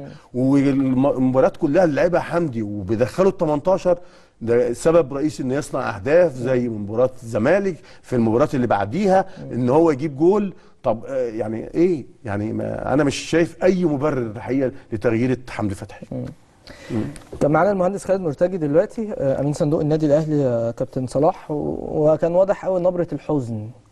وبيتكلم على إن النتيجة ما تدلش ابدا على الاداء اللي عمله النادي ال- الأهلي والنتيجة كبيرة وده اللي مخلي البعثة كلها آه، زعلانة يعني. شايف إن حقهم إن هم يزعلوا وإن الأهلي كان أو جمهوره بالتحديد اتعشم بشكل كبير طبقا لمجريات المباراة إنه ممكن يتعادل أو ممكن يكون النتيجة أقل من كده بكتير؟ شوف هو ال- العشم ده شيء تاني غير بعيد عن الكورة. لكن مجريات اللعب اللي إحنا قلنا عليها في الملعب مم. اللي يسأل عنها المدير الفني مم. هي اللي خلت النتيجة كده وممكن تبقى كان أكتر من كده لكن خبرات النادي الأهلي القليلة بالنسبة لريال مدريد ما سعفتش الأهلي في إحراز أكتر من هدف تمام مع إن النادي الأهلي هاجم في بعض الفترات وضيع. لكن خبرات فرقت فأنا بقول للمهندس خالد هو على النادي الأهلي على تاريخ النادي الأهلي النتيجة كبيرة. صح. وهو عشان كده زعلان أو الناس زعلانة. لكن مع الريال ومع الت... مش الأداء بتاع اللعيبة التكتيك اللي محطوط للعيبة أو التشكيل من المفترض جدا تبقى أربعة وشوية كمان تبقى زيادة. والله. ولكن كان في مجازفة من كولر طبعا طبعا. أنا بقول لحضرتك في الأول إيه؟ لازم تصدق أنت بتلاعب مين. غير إن أنت بتحترم الفرقة. مم. لأن هم مراهقين. لسه لاعبين أعتقد يوم الأحد اللي فات. وجم امبارح أعتقد اتمرنوا والنهاردة المباراة. يعني بالنسبة للراحة أنت لعيبتك مرتاحة أكتر. صح. قفشه كان عنده نازل برد. معنويات كمان عندك أعلى. لأن هو كمان حتى. جاي جاي خسران. قفشه أعتقد كان بيتمرن لوحده في يوم أول امبارح أو كان عنده امبارح. برد. كان عنده برد. ومش أجهز. صح. لانك انت في. في الفترة اللي فاتت بتاعت الماتشات ال- مصر الدوري المصري انت اديت حمدي مهام هجومية. وهو عنده القدرة من الناحية البدنية إن يقدر يقفل زي ما رمضان قال على الناحية اليمين أو ناحيه ايا كان تكتيك. صح، صح. لكن أنت خليت شريف لوحده مفيش حد بيساعده خالص. حتى حتى ديانج ده ابتدى عنده شيء من الخوف إن يهاجم صح. ويرجع الملعب فاضي. طبيعي يخاف. بس. آه. فالمهندس خالد آه يزعل كأهلي خسر أربعة. لكن هي وضع طبيعي للي حصل من التكتيك للعيبة فده وضع طبيعي. أنا بقول وضع طبيعي. هل أنت مختلف بس يا كابتن مع حتة حمدي فتحي وقفشة ولا كان في مثلا مراكز أخرى كنت شايف إن في يبقى يحصل فيها بعض التغييرات؟ يعني مثلا كان ممكن هل أنت مع إن حسين وعبد القادر وشريف هم اللي يبتدوا ولا كنت مع طاهر يبتدي ولا بيرسي تاو على حساب شريف ولا إيه؟ ولا هو القصة كلها في حمدي فتحي لا وقفشه لا ال- انت لعبت الماتش الاولاني أوكلاند بمين؟ الثلاثة ال forward ده هم هم. هم هم صح. لما غيرت الماتش الثاني. النتيجة اتأخرت قوي. مم. صح. واحد غير ثلاثة فطبيعي أنا كمدير فني برجع لإيه؟ مم. للفرقة أو ال line forward اللي هو كسب ثلاثة ده حقيقة صح. هو بدأ صح. بدأ الخط الأمامي صح. الشحات ما يطلعش. آه. آه، وجهة نظر أنا. آه. بصراحة. خلاص؟ آه. نص ملعب كان لازم فيه تغيير بدري شوية حتى لو بين الشوطين انت خسران واحد. ما حصلش. هو آه مجبر في الخطوط الدفاعية لأن ما عندوش. أنت قلت رامي ربيعة عنده حياه وفاه وياسر لسه مش جاهز ما- 100% مش جاهز. يعني. مم. فهم الأربعة الموجودين وبقى لهم فترة بيلعبوا بصراحة يعني. لكن آه، يعني أنا ما أقدرش أقول للعيبة أنتوا قصرتوا لأن اللعيبة هاجمت ودفعت لكن نص ملعب واضح إن كان في مساحات كبيرة جدا وكان الوصول لخط الدفاع والشناوي بتاع الأهلي بسهولة جدا بيروح مودريتش و... أنت يا محمد مجرد إن هو لعب باثنين النهارده خلي بالك أليو ديانج أجهد. أجهد، آه. هو ما اتغيرش عشان وحش اتغير عشان حوالي أربع خمس كور مفروض يعمل فيها سرعات عشان يستخلص ودي حاجات أليو ديانج. صح. إيه مش قادر. تعب، تعب. لدرجة إن هو يعني بيعتل عشان عاوز. فطبعا انت أهلكت السوليه وأهلكت أليو ديانج. وهم أساسا الفترة اللي فاتت زي ما بقول لك بي... بيشيلوا التحميل ده على الثلاثه يعني حمدي فتحي بيقفل لك الحتة اليمين اليو ديانج بيقفل لك حتة العمق والسوليه بيقفل لك الحتة الشمال. آه. الحاجة الثانية شوف رغم ان عبد القادر من اللعيبة المميزة جدا جدا جدا لكن أنا مع ريال مدريد ما أقدرش ابدا بحسين الشحات واقدر ابقى بعبد القادر ومحمد شريف. خطأ كبير جدا. برضو من ضمن الأخطاء اللي هو بدأ بيها التشكيل إن بدأ بعبد القادر. وليه؟ أنت كنت ضد إن عبد القادر يبتدي طبعا. يا كابتن. طبعا. بص أنا هقول لك حاجة. مين يلعب مكانه؟ طاهر. لأن طاهر هيعمل مساندة على علي. آه. وهيقدر يدافع وهيقدر يرد وهيقدر يلتحم بقوة. ومع ذلك والله عبد القادر عمل ماتش كويس أنا بقول لك أهو، أوي. كان كويس جدا، كان كويس جدا. الهجوم بتاع ريال مدريد الناحية الثانية يعني آه. النهارده حتى معلول أنا- ما مش مفيش باين حاجة من ناحيته. خالص. آه. ما هو هو التقل عندهم في الحتة الشمال. وعبد القادر كان كويس جدا والله. أنا بقول لك عبد القادر عامل جيم كبير جدا لكن أنا كنت ممكن أبدأ بطاهر على أساس إن أنا بلاعب تيم كبير وأمن وبعدين أدي مثلا عبد القادر مثلا شوط تاني أو أدي له مثلا آه، 35 دقيقة 30 دقيقة. الملعب يتقفل. أصل أنت وأنت بتلاعب آه، آه، الحقيقة آه، ريال مدريد. لا لازم تعمل حسابات كتير جدا. طبعا. يعني ما, ما ينفعش إن أنا زي ما بقول لك أنا آه ماشي مع قادر بيمسك الكورة وبيعمل لك خطورة وبينقلك والحاجات دي كلها لكن في نفس الوقت برضه لك تغطية وسط الملعب آه. وتحميل على وسط الملعب كمان لأن خاصة انت ما فيهمش الثلاثه اللي أنت ما عليهم الثلاثه آه. اللي إحنا اتكلمنا اتفقنا كلنا عليهم الحقيقة ال- الحاجة الثانية حسين الشحات أفضل لعيب عندك في المباراة طبعا. أنت بتغيره ليه وبعدين حسين الشحات آه، ما شاء الله آه، بدنيا كويس قوي. أوي، آه. لأن هو بيعمل حتة ال 100 متر مع مساندة محمد هاني. بشكل قوي جدا. وفي نفس الوقت هو اللي نقلك في الثلث الدفاع اللي في فرقة ريال مدريد. طب أنت بتغيره ليه؟ هو مش مجرد إن أنا بغير وخلاص. لو هو كان زعلان كمان هو يعني هو زعلان. طبعا. حاسس انه يقدر يعمل حاجة آه، في. كمان في كمان أنا في رأيي كمان محمود متولي النهارده مش موفق. كان لازم يفكر يعملوا تغييرة بدري. يعني بعد الشوط ال ما أنا بقول 10 مين ولا ياسر ياسر يلعب ياسر ما- يا جماعة ما- مش- الريتم مش معاه ماشي خالص. ماشي. ما هو ما هو محمود متولي النهارده لا مشكلة كبيرة جدا مشكلة كبيرة. على فكره أقرب واحد كان ممكن يلعب مكان آه، متولي النهارده حمدي؟ فتحي. آه أو أو إن أنت بتلاعب حمدي فتحي. أو أو أقول لك حاجة. لا أنا أقول لك حاجة يا أمير. معلش. أو أنت كمان كنت ممكن تغير طريقة اللعب. لو أنت النهارده بقى انت بتلاعب تيم كبير يبقى بتقفل بتقفل مساحات بشكل كويس قوي. يبقى انت النهارده لو عملت آه، محمود متولي ومحمد عبد المنعم وبتلاعب حمدي ثالث زي ما ماتشات كتيرة جدا. وخالد عبد الفتاح موجود مش كده؟ وخالد عبد الفتاح موجود. وخالد عبد الفتاح موجود. برضه نفس الحكاية. آه. خالد عبد الفتاح عمل مركز المساك. حتى أقول لك حاجة حتى أنت التغيير النهارده ممكن كنت تعمل آه، خالد عبد الفتاح ب- ب- بمحمود متولي. لأن محمود متولي جه جاله فترة هو. خلاص في بطء. وهقول لك حاجة ده كان بيلعب برضه بصراحة إحنا بنقيس إحنا بنقول بطيء ليه؟ بيلعب مع فينيسيوس جونيور. آه هل هل آه، كان آه. الأفضل يا كابتن إن يتغير مكان حمدي بمنعم؟ يعني منعم عنده سرعات شوية فيلعب يلعب هو ناحية كمساك ناحية آه، فيني وغير متولي ال position الناحيه الثانية ولا؟ ده صعب صعب. صعب. صعب. يعني في خلال يومين ثلاثة صعب. امم لأن آه، عبد المنعم مرتاح هنا. آه. وبإجادة ومتولي مرتاح هنا. ومتولي هنا بس يعني سنة البطء أو آه. الخطأ بتاع الجون اللي أعتقد الثاني الأولاني. الأولاني. آه، عمل هزة شوية. مم. لكن شوف خلينا نتكلم كلنا وبنقول ده وحش وده مش كويس لأن نص الملعب في هو اللي. كان فيه خطأ تاخد منك تاخد منك. الخطأ ده يعمل كل ده. كتير آه دي دي حاجة كانت واضحة جدا في الحقيقة لكن الأهلي في كل الأحوال عنده مباراة مهمة يوم ال- التالت والرابع. آه يوم آه. السبت الساعة 5 ونص فلامينجو. مع فلامينجو. كيف يتدارك الأهلي هذه الكبوة المؤقتة وما تعتبرش كبوة أنت بتلعب ريال مدريد برضه يعني بس النتيجة تقيلة على الأهلي وجماهيره في كل الأحوال وفي الحقيقة يعني إزاي الأهلي يفكر في مباراة يا كابتن على فكرة قبل ما نبدأ. في فلامينجو الحقيقة أنا بقول إن النادي الأهلي لغاية الدقيقة 90 يعني النتيجة 2-1 دي 92 يا كابتن. 92 نتيجة 92 أنا آه، نتيجة نتيجة عادية جدا.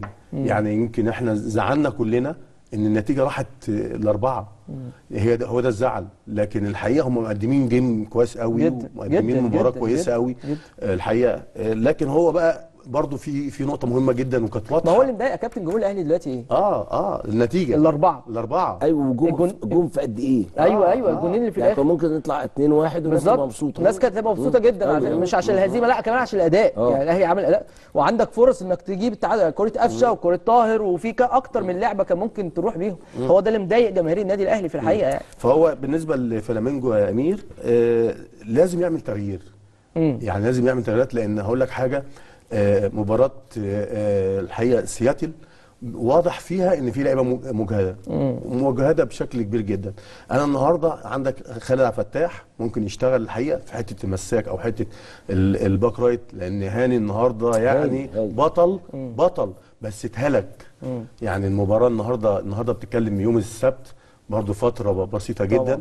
يعني مش هيلحقوا طبعا. بس انت محتاج هاني برضه طبعا. ما انت بتلعب على ميدالية. ما أنا آه. بقول لك ما انت ما أنا هقول لك حاجة. انت ممكن تلعب هاني بس تلعب الحقيقة أنا في رأيي إن يلعب محمد عبد المنعم وخالد خالد عبد الفتاح لازم لازم يعمل تغييرات. نص الملعب لازم ترجع تاني لحالتك اللي انت لعبت بيها لتشكيلك اللي انت لعبت بيه أو اللي انت مثبته. بقالك فترة. أنا ما ينفع أنا آه، يعني دايما هقول بقول حاجة بالنسبة للمدير الفني. أنا ما ينفعش إن أنا أوصل لتوليفة وتوليفة تعمل لي أداء مميز جدا ونتائج إيجابية وبعدين أبتدي أغير فيها. أغير فيها. أنا ليه بغير؟ يعني آه، طالما إن هي بتديك المردود آه اللي أنت عايزه أديتك الاثنين آه. اداء آه. ونتائج إيجابية. فخلاص أنا ما هغير ليه؟ هل طمع كولر في المباراة كلفه؟ آه طبعا. هو طمع. آه طبعا. هو طمع فعلا في المباراة. من قبل ما تبتدي. من قبل ما تبتدي. هو في تشكيله في طمع في المباراة. هو قال لك إن ال- الفرقة جاية مجهدة واللاعبين مباراة ونفسيا مش عارف إيه والحاجات دي كلها. فأنا هلعب عشان أخلص المباراة من الشوط الأولاني. آه، أقدر أجيب جول في الشوط الأولاني. عشان كده هو لعب بقفشة. لكن أنا في رأيي إن ده قرار خاطئ 100% إن أنت تلعب بقفشة. آه، آه، لازم بصراحة يعمل- متفق معاك مليون في المية يا آه، آه يعني طبعا. خطأ كبير من كولر النهارده في طبعا. البدء بقفشه على حساب حمدي فتحي. طبعا. لأن حمدي فتحي اولا بيجيد الواجبات الهجومية اللي كان مكلف بيها في المباريات الأخيرة مع النادي الأول ومنها مباريات كبيرة زي ماتش الزمالك. بالظبط. فالراجل بيكمل وبيأديها بشكل ممتاز وبيأدي المطلوب منه بالحرف بشكل رائع ده كان. راجل المباراة في حوالي ثلاث مباريات آه، بخ- بخلاف كده يا كابتن هو بيجيب كمان. الجوانب الدفاعية انت آه. بتلاعب وسط ملعب آه. هو الأقوى في أوروبا وفي طبعا العالم آه، طبعا مودريتش طبعا تشاوميني كروس آه، كروس طبعاً. يعني آه طبعا طبعا فهو الحقيقة آه، طمع في المباراة. يعني للأسف شيء حساباته آه، حساباته كلها كانت خاطئة. الحقيقة. آه. يعني بداية التشكيل خاط... أخطأ بشكل كبير جدا جدا. وهو خلي بالك هو مش حكاية إيه إن أنت تقول مثلا حمدي فتحي ما لعبش أو لعب. حمدي فتحي عدم لعبه أثر على أليو ديانج وأثر على السوليه صح كابتن، الاثنين. بذلوا مجهود رهيب و... ورغم ذلك ما قدروش. ما قدروش إن هم يشتغلوا هم الاثنين على الثلاثه اللي بتوع نص الملعب الحقيقة في ال- في ريال مدريد. عملوا مجهود كبير جدا بدليل إن أنت أليو ديانج اللي هو القوة الكبيرة جدا اللي عندك في وسط الملعب أنا بعتبره من تعب. أفضل الديفندرات آه تعب. مفيش أي مساعده تعب. ده اللي جه في حوالي خمس كور في الشوط الثاني خلاص، مش قادر. خلاص يعني كرة هنا كده وهو. يروح لها. مش قادر يروح. عشان كده هو كمان آه، غير. كانت واضحة قوي فأنت يعني أنت عارف إيه؟ مراكز كتير جدا. يعني فقدت وسط الملعب وده اللي أنت كنت بتمتلكه الحقيقة وبتعمل بيه نتائج إيجابية. وفي نفس الوقت حتى قفشة اللي أنت اديت له. ما اداش ما اداش حاجة. وهو هيغير رمضان وهو ما طبعا. فحتى في الثلاثة اللي قدام هيغير على الأقل اثنين طبعا. لازم، لأن آه، خلاص طبعاً. اللعيبة مجهدة. طبعا. لأنك أنت برضو نفس الحكاية. يعني أنا زي ما بقول أنت اديت حمدي فتحي واجبات هجومية ولأول مرة حمدي فتحي اشتغلها السنة دي. و... وأنتج فيها بشكل كبير جدا بشكل مميز جدا. زائد إن حمدي فتحي عنده الواجبات الدفاعية ده وحش في وسط الملعب مع أليو ديانج وحوش والسولية. لكن انت يعني أنا في رأيي ان هو اخطأ خطأ كبير جدا جدا جدا النهارده ويمكن هو سبب في الخسارة اللي هي تروح للأربعة. الأربعة. آه. مين نجوم الأهلي يا كابتن من وجهة نظرك في المباراة؟ أنا أنا ضد بصراحة مقولة إن يبقى في نجم في فرقة أو كان عمل مباراة كويسة بعد هزيمة كبيرة زي دي. بس بما إننا بنتكلم على فريق بحجم ريال مدريد مين النهارده ما كانش هايب الموقف وكان عامل أداء آه كويس حتى لو أكتر من لاعب من وجهة نظرك؟ الشناوي. آه. في الشحات شحات. عبد المنعم إيه؟ لا شوف هو الاختبارات الدفاعية ما تقدرش تحكم عليها أكتر واحد هاني.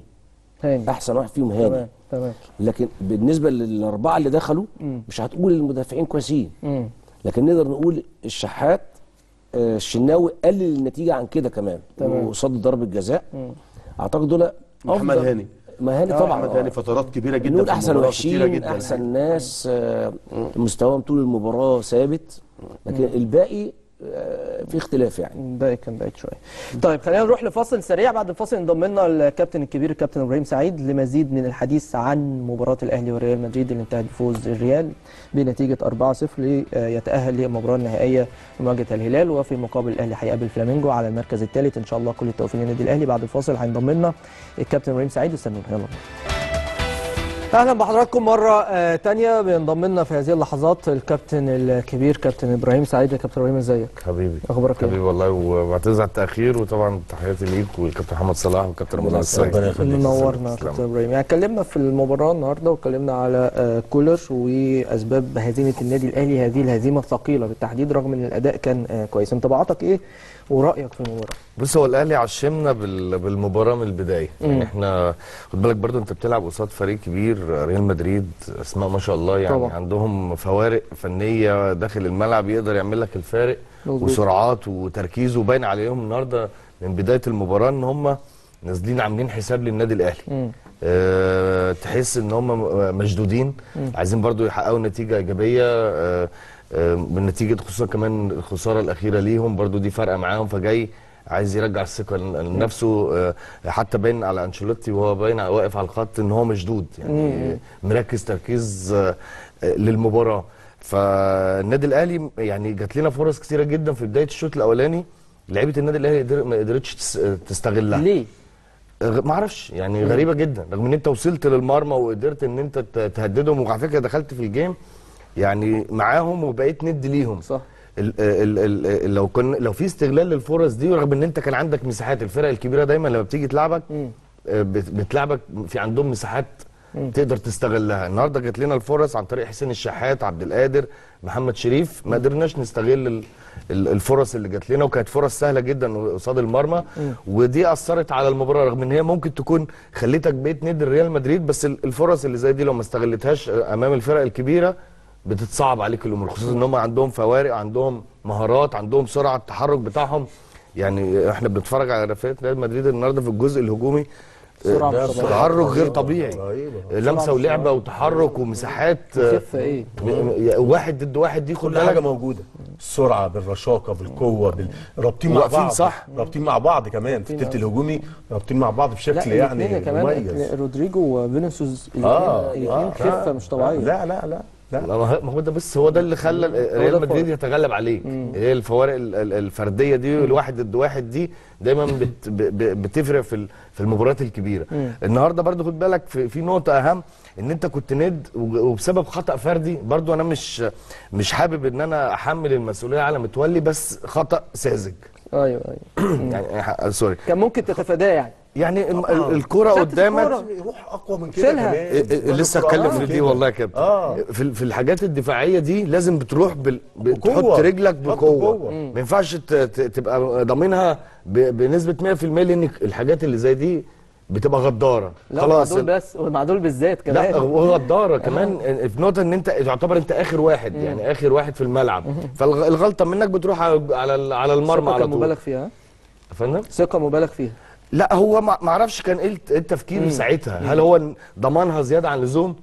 هل هو ما قدرش ال- ال- التوقيت فن التوقيت بتاعه إن هو يقطعها؟ لأن بصراحة آه، ال- ال- حتى رفعة الرجل بتاعته هو خايف. آه آه. صح. يعني لو مش داخل بقوة يعني في الحاجات اللي زي دي المهاجم هو اللي يبقى خايف بتروح بالعكس ده هو المدافع محمود متولي هو اللي مستغربها. ليه يعمل كده. طب لو انت رحت حط بقوة رغم ان ما فيهاش. التحام يا كابتن. ما ما فيهاش أي التحام. هو يعني بس بسرعة وقوة. يروح هو ياخد الكورة. والمس الكورة. آه آه. اي اي حاجة. آه. تشريط فطبعا الهدف ده أكيد فرق هبط شوية. أه- أكيد. شيء طبيعي. في فرق إن أنت تخرج ما بين الشوطين في أوضة اللبس متعادل. طبعا. وبتبقى حتى لو أنت نازل مشدود للمباراة عامل أهمية كبيرة جدا ليها مع الضغط الإعلامي والضغط الجماهيري. آه، خروجك الشوط الأولاني قصاد فريق برضه بحجم باسم ريال مدريد إن أنت تخرج متعادل فدي أكيد كانت هتفرق معاك بشكل كبير جدا جوه أوضة اللبس. طبعا نزلنا الشوط الثاني هدف على طول. الهدف على طول فده شيء طبيعي إن أنت المعنويات تبتدي تحبط ويبتدي يبتدي يبقى في خلل ويبقى في أخطاء وده اللي حصل. ومع ذلك رجعت يا كابتن إبراهيم. رجعت بس ما قدرتش إن أنت يعني آه، آه، التمركز بتاعك. دايما أي فريق ناجح هو التمركز. إيه النهارده اللي فارق ما بين ريال, آه، ريال مدريد عن النادي الأهلي؟ التمركز. تمركز اللعيبة وقوفهم صح. الوقوف صح جوه الملعب بيفرق بيديك آه، رؤية داخل الملعب بتقدر تستغل المساحات. النهارده حتى بعد الهدف المعلول إحنا قلنا المباراة هترجع بس ابتدت المساحات. زيد واقتربنا من العودة والله. يعني الأهلي كان اقترب من العودة. فرصة طبعاً، قفشه طبعاً. فرصة طاهر. ما هو عدم استغلال فرص. اي عدم استغلال الفرصه دي النقطة اللي أنت اتكلمت فيها في البدايه عشان كده أنا عايز أقرأ لك تصريحات أو أقرأ لكم تصريحات كولر دلوقتي بعد المباراة. قال حاجة مهمة قوي قال لك الفريق لم يستغل الفرص بشكل جيد وسنكون أفضل في المستقبل. يعني هو الراجل نفسه بيقول إن الفرص إحنا ما قدرناش نستغلها نستغل آه، نستغلها فبالتالي ده اللي أدى للنتيجة دي. قال لك إيه؟ إنه بيشعر بالإحباط الشديد بسبب الخساره أمام ريال مدريد في نصف نهائي كأس العالم وإن الفريق كان يتطلع لنتيجة أفضل خلال المباراة وده كان واضح من التشكيل اللي هو بدأ بيه.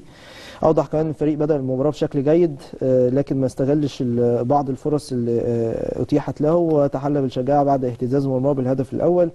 وأشار كولر ان الفريق يتحسن بشكل كبير وسيكون أفضل في المستقبل وأنه يتولى المسؤولية منذ عدة آه، شهور ويعمل بشكل مستمر على تطوير آه، مستوى الفريق. وقال إن هو اتفرج على مباراة الهلال وفلامينجو وعارف نقاط القوة والضعف عند الفريق البرازيلي بخصوص المباراة اللي هتتلعب يوم السبت آه، المقبل إن شاء الله ما بين الفرقتين على المركز الثالث كابتن رمضان ليك تعليق على التصريحات طبعا ليا تعليق إن هو بيتكلم على الفرص. آه ماشي الفرص في حسين الشحات في طاهر في كذا في الحقيقة فرص جات لنا كنا ممكن إن إحنا نسجل منها ولو سجلنا منها كنا خشينا في المباراة دخلنا المباراه بشكل غير كده. لكن أنا برضك لسه لغاية دلوقتي بحمله هو مسؤولية إن آه، اليو ديانج يستهلك إن عمرو السوليه ما يقدرش يكمل على أساس زي ما قلت لك إن إحنا أقول لك حاجة أنت زي ما تكون بادئ ناقص واحد. بادئ ناقص واحد. آه آه قفشة من- لو في الواجبات الدفاعية مش هديك خالص. مم،. خالص. وعمل مج... يعني إن يبقى في مجهود كبير جدا على أليو ديانج والسولية. صح. ما قدروش يقفلوا وسط الملعب. قبل ما تكلمني على الفرص اللي إحنا ضيعناها كلمني الأول على إن التشكيل أنت بدأت بيه غلط. والتشكيل مش بدأت بيه غلط ك... كفرد. يعني كحمدي فتحي و... و... وقفشه لا ما انت أثرت على اليو. ديانج وعلى السولية وفي نفس الوقت انت كمان حمدي فتحي اللي كان بيقفل لك كمان مع محمد هاني في ناحية اليمين حمدي فتحي كان بيميل ناحيته. صح. يبقى حسين الشحات زي ما قلنا و- و- ومحمد هاني وحمدي فتحي انت خلاص برضك استهلك محمد هاني استهلك بشكل. يعني أنا متهيألي مثلا محمد هاني ممكن زمانه دلوقتي آه، يعني نام ولا مش مش قادر حتى. لأن ده ما فيش كل كورة آه، بيعمل بيها sprint. الراجل ما بياخدش كرة كده في مساحات ده بياخده بياخده في 20 متر في 15 متر لمحمد هاني بطل. بمناسبة محمد هاني عبد المنعم ومحمد هاني خضعوا لاختبار كشف المنشطات. يعني هو هو سبب سبب رئيسي. بره إن إحنا ضيعنا فرص لا سبب رئيسي إن إحنا نروح للنتيجة دي. سبب رئيسي. طيب كابتن صلاح أنا عاجبني جدا تصريحات لعيبة الأهلي بعد المباراة. خليني أقول لك بعضها. يعني علي معلول قال لك إحنا قابلنا أفضل فريق في أوروبا وهنعمل على تصحيح الأخطاء وخلال مباراة فلامينجو. فأعتقد التفكير ابتدى لمباراة فلامينجو. نفس الكلام بالنسبة لمحمد هاني بعد الماتش قال لك آه، أغلقنا صفحة مباراة الريال وسنقاتل الفوز بالبرونزية. دي حاجة برضو آه، إيجابية يعني. فشايف إن خلاص اللعيبة وثقافة النادي الأهلي اللي الناس متعودة عليها إن أنت دايما سواء كسبت أو خسرت بتفكر في اللي جاي. ده ابتدى من اللحظة دي؟ أكيد طبعا لأن الوضع طبيعي بعد المباراة لو أنا عندي قناعة جوايا إن أنا أخسر سيبك من النتيجة. من ريال مدريد ده وضع طبيعي. طبيعي آه. لكن عليا ان أنا أقول لجماهير النادي الاهلي ان أنا مش هتنازل عن البرونزية. ده مهم. بيفكر في المباراة الجاية. ومباراة صعبة. طبعا. آه وزي ما إحنا متفقين في بعض اللعيبة مرهقة. فيتم التغيير. فهل التغيير ده هيهديه كولر للتشكيل الامثل إن هو يبدأ بيه صح؟ عكس النهارده. لأن هو بيقول حاجة. هو دلوقتي أنا مش عايز أقول من من الصياغه الحديث إن هو بيحمل اللعيبة اللي ضيعت أهداف. آه. هو مش مسؤول. لكن هل التشكيلة بتاعتك ال ال ال الأولى كانت تدي إيحاء إن الناس مركزة ومع إن هي بتحترم ريال مدريد بس هي آه ما صدقتش إن زي ما قلت لحضرتك بتلاعب ريال مدريد فعملت مساحات كبيرة رغم إن هم بعد 10 دقائق دخلوا في الجيم وضيعوا. لكن اللي بيضيع بيستقبل طبعا. مع فرق الخبرات وإن دفاع النادي الأهلي النهارده ومش كله يعني خاصة آه، القلب اللي هم لعبوا فيه ما كانش كويس ده السبب المباشر في إن أنا ما ركزتش لغاية النهاية إن أنا أقف زي ما الكابتن إبراهيم قال أقف صح والنتيجة 2-1 قريبة قوي. صح. وعندك 8 دقايق.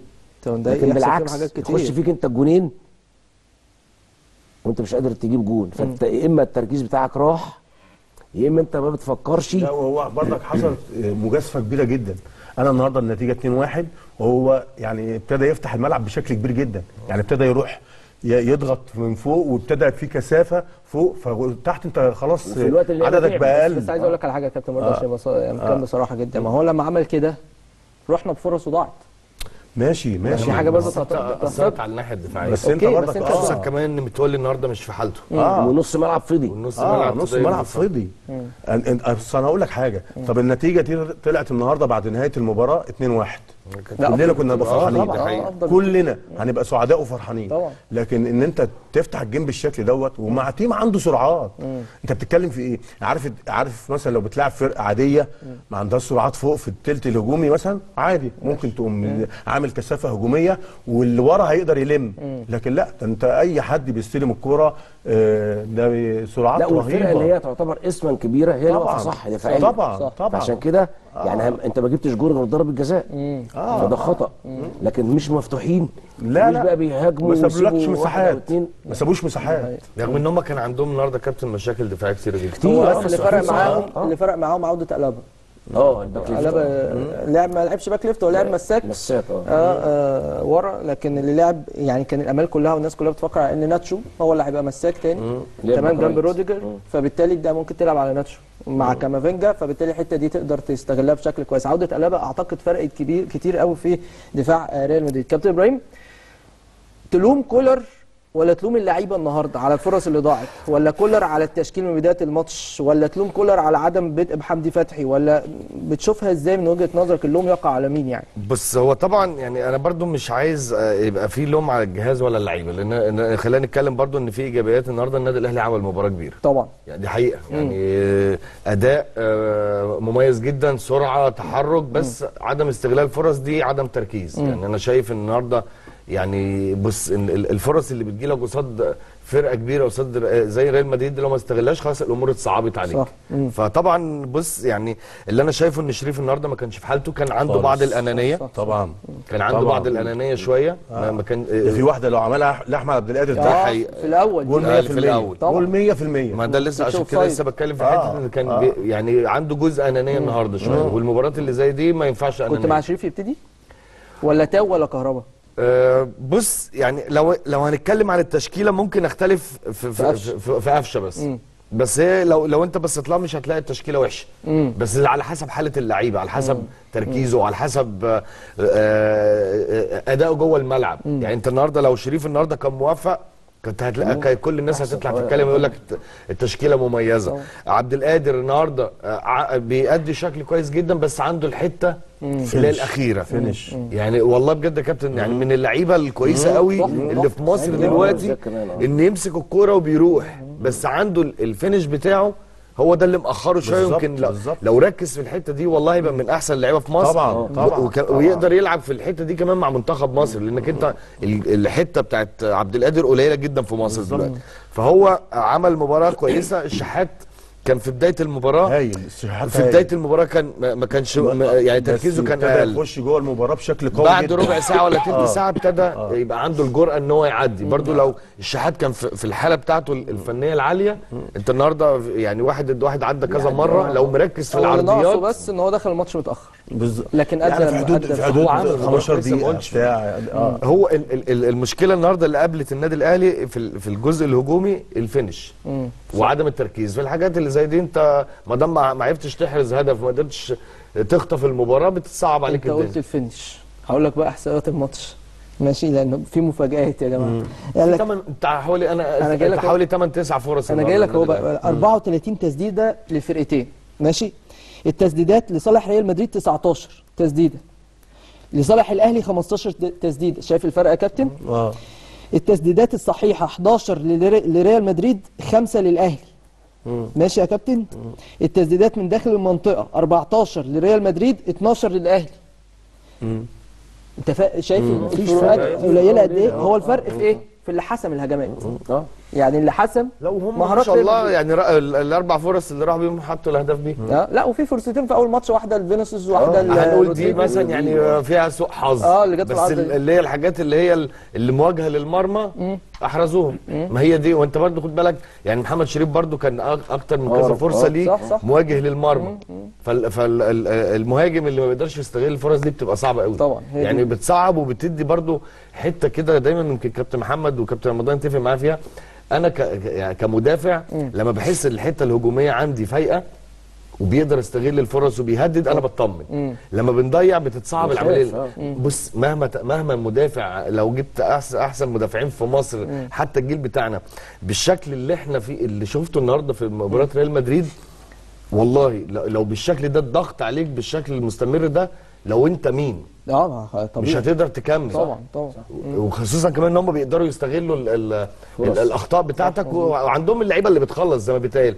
فالنهاردة الفارق إن الأهلي ما استغلش الفرص كان النهارده كان ممكن غايب بنزيما كمان. بص المباراة طبعا. اللي زي دي لو كنت أحرزت هدف في البداية بص أنا عايز أقول لك حاجة اللعيبه دي كانت هتفوق لعيبه النادي الاهلي كانت هتفوق كانت هترتفع بشكل جدا. كبير جدا وكان عندنا فرصه نجيب آه جدا. عندنا مع الهدف ال ال ال ال الخطأ الدفاع من متولي دخل فيه برضو صعب الدنيا شوية أنا أنا شايف وجهة نظري إن توقيت الهدفين بتوع ريال مدريد. كانوا محبطين آه جدا. ده واحد في نهاية آه. الشوط وواحد في بداية بداية الشوط. الثاني لا بص لاحظ؟ في الهدف الثاني إحباط إحباط. بيصدروا لاحظ في الهدف الثاني يا كابتن هتلاقي اللعيبة كلها أنا آسف. إيديها إيديها عملت كده بس ده خطأ بقى من مين أنا نازل بين الشوطين المفروض إن أنا فايق وعندي التعليمات بالروح إن أنا أتعادل.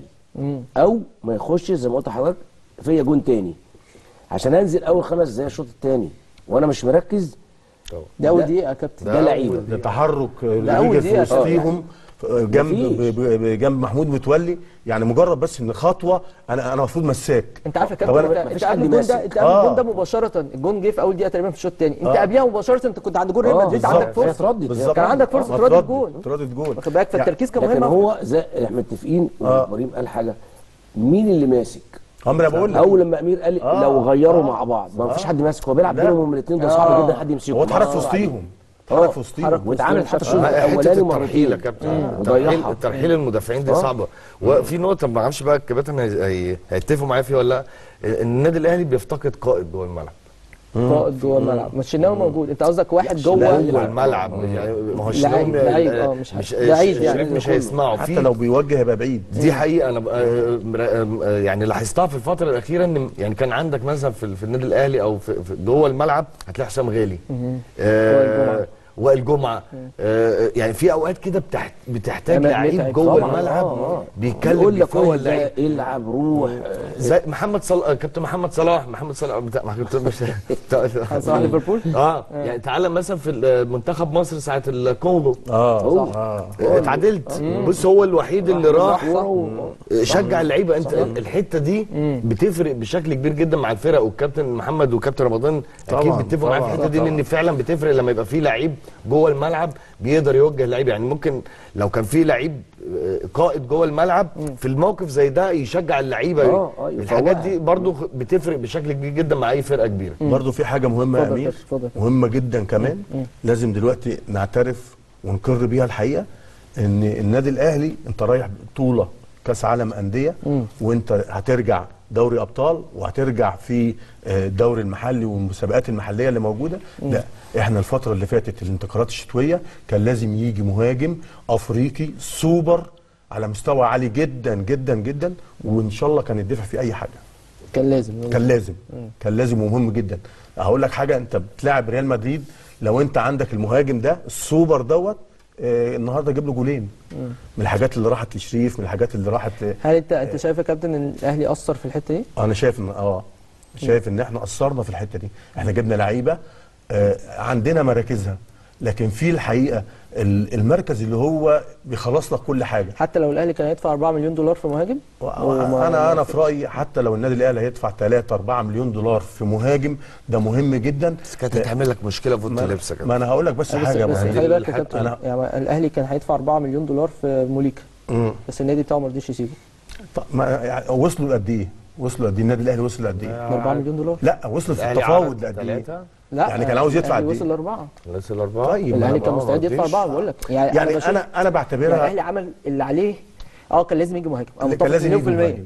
كان لازم يجي. مهاجم. لكن هل أنت كنادي قصرت في إنك تحاول تجيب المهاجم ده ولا لأ؟ أنا ده رأيكم أنتوا يعني آه. رأي المشاهدين أنا- هم اللي يحكموا في حاجة أنا زي كده أنا بس بطرح لك اللي حصل يعني. ضروري ضروري ضروري مهم جدا هقول لك حاجة لو إحنا كنا صفقتين من ال من اللي إحنا عاملين كام صفقة في في يناير أربعة. أربعة لو شلنا صفقتين منهم وجبنا مهاجم على مستوى عالي وسوبر كان أفضل. مم. ده- بص هو ده اللي بيخلص لك انت انت آه، شوف المحترفين بتوع ال- الهلال عاملين إزاي. آه، لعيبة سوبر. لعيبة سوبر وفرقوا معاهم. صح. واخد بالك؟ إحنا كنا لازم بدل الأربع صفقات إن شاء الله هجيب صفقة واحدة. وبعدين أجيب الصفقه مهاجم السوبر. يعني. آه لازم مهاجم لازم لازم. طيب آه كابتن صلاح المفروض يعمل إيه؟ كولر في مباراة فلامينجو؟ أنا بالتحديد بحب أتكلم كمان على الجوانب النفسية هو المفروض والذهنية. يكسب. حلو لا أنا عارف أنا قصدي؟ يكسب إزاي؟ النادي الأهلي ما هقول لك إزاي. النادي الأهلي آخر بطولة طلع الثالث مش كده؟ آه. يعني هو في اختبار. امم مش هنقول ضغط. في اختبار إن لازم يحافظ على الثالث تمام. لكن الله أقدر أروح للرابع ممكن يحصل فيه مقارنة. آه. إن هو ما نجحش. لكن أداء النادي الأهلي بصراحه من أول بطولة لغاية النهارده جيد جدا. جيد. جيد جدا. وما كان وفي ناس ما كانش متوقعة إن يبقى الأداء كده. مع فرق آه أصحاب مستوى متفاوت لكن آخرهم ريال مدريد زي ما إحنا قلنا ومش هنقول تاني ند وصل ولا ما وصلش. والإحصائيات عندك بتقول الفرق آه، قليل. معنى كده إن في نوعية كويسة. لكن الفينش اللي في بعض العيوب المصرية لما يلاعب فرق كبيرة الأنانية. عايز أبقى أنا. ممكن آه، أنا شايف إبراهيم أديله جول لا أنا اللي أجيب جول عشان الناس تتكلم عني اللي هو الشو. فده ممكن النهارده يكون أثر. أثر بشكل بالسلب على بعض حتى اللعيبة في الملعب. الحتة دي. فده ما تجيش ده بقى عايزين نرجع مش مش كولر. إن الكوره ما دخلش جوانا وعارف إن أنا أناني وإبراهيم مش عايز يبصيلي مش عارف إيه. لكن النتيجة النهائية النادي الأهلي أجاد بدرجة 8 من 10 والله 8 من 10 8 من 10 في الثلاث ماتشات اللي أنا خسرنا النهارده مع كابتن محمد بصراحة الأهلي عمل مباراة كبيرة جدا. جدا. طبعا طبعا. كلنا إن خلي بالك. يا أمير معظم أنا بقول لك لو النتيجه 2-1 كنا هنبقى في قمة أيوة، السعادة. أنا لسه قمة السعادة. الاداء ابدا. مقتنعين تماما إن الأهلي هيخسر. آه. وبيقول لك رغم ان في فرص في فرص إن أنت تكسب. خسرنا حتى لو 1-0 أو قليلة. 2 1 أو ضربات جزاء كويس جدا جدا وفخر لينا وإحنا دخلنا في التاريخ والعالمية والحاجات دي كلها. لكن اللي بوظ الدنيا ال- ال- الجونين اللي جم اللي ما لهمش لازمة عملوا فرق كبير فالناس صعبت عليها النادي الأهلي يخرج. صعب. الهدف الثالث يا كابتن كان آه. سهل قوي الهدف الثالث والرابع يا إبراهيم ده واحد لسه ما نزلش. لا، أول لمسة. أول لمسة. يعني التركيز غاب عن اللعيبة مش على كابتن الجهاز صلاح هل إحنا عندنا مشكلة في quality ال finisher اللي هو اللاعب اللي يخلص خلص. الكورة. آه طبعا. يعني مثلا أديك أديك مثال بارز جدا في نفس البطولة. بيرسي تاو الجون اللي جابه.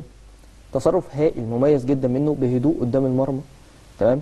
بيرسي تاو عنده برضو الحتة دي لما نرجع لماتش الأهلي والرجاء في السوبر الافريقي الكره المفروض قدامه هيشوطها لم الدنيا آه، مديها آه. لطاهر حاططها في الجون ده هدوء برضو قدام المرمى هل إحنا نفتقد الحتة دي في لعيبتنا المصريين. آه آه. نفتقدها. طب الحل إيه؟ التمرين. إحنا بقالنا فترة بنفتقدها. لازم الشغل بيها التمرين. شغل تمرين. تمرين يعني شغل مدرب. مهمة جدا. شغل مدرب آه، طبعا. عليه. أنا السنة محترف. لما تجيبني بعد التمرين كل يوم صح. مش هقول لك لأ. صح. فأنت بتنمي لي حاجة أنت شايفها فيا إن لو جت في المباراة أجيبها بدرجة 9 من 10 مم. أنا أكمل لغاية 10 من 10 إن التمرين غير الماتش أو المواقف يعني. لكن طالما الملكة دي جات لك فأنا لازم أنميها لك عشان هتيجي لك أبقى أنا قاعد بره أنت هتجيبها.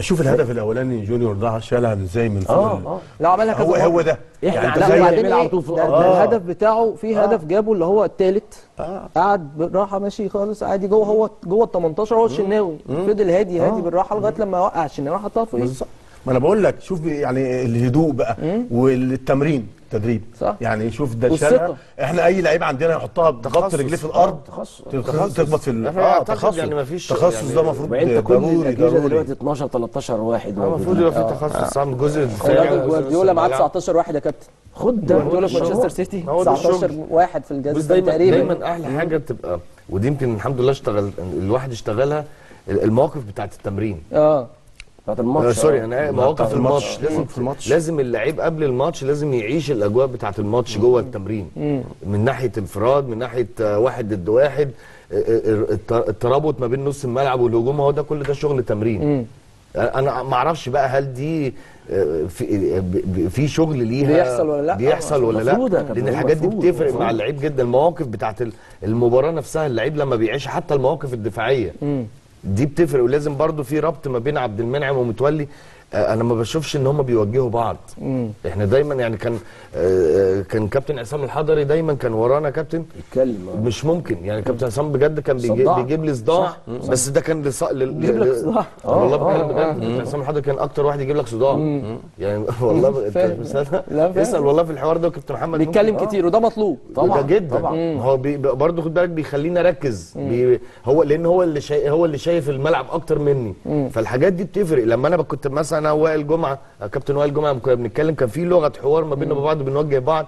فالحتة دي بتفرق جوه الملعب. بس يعني متولي ومنعم مع بعض من بداية الموسم عاملين موس... عاملين بداية أنا. بتكلم على لغه الحوار ما بينهم وبين بعض. التواصل. ما هو بس لو بصيت على الهدف الثالث هتلاقي محمد عبد المنعم وقف واقف صح.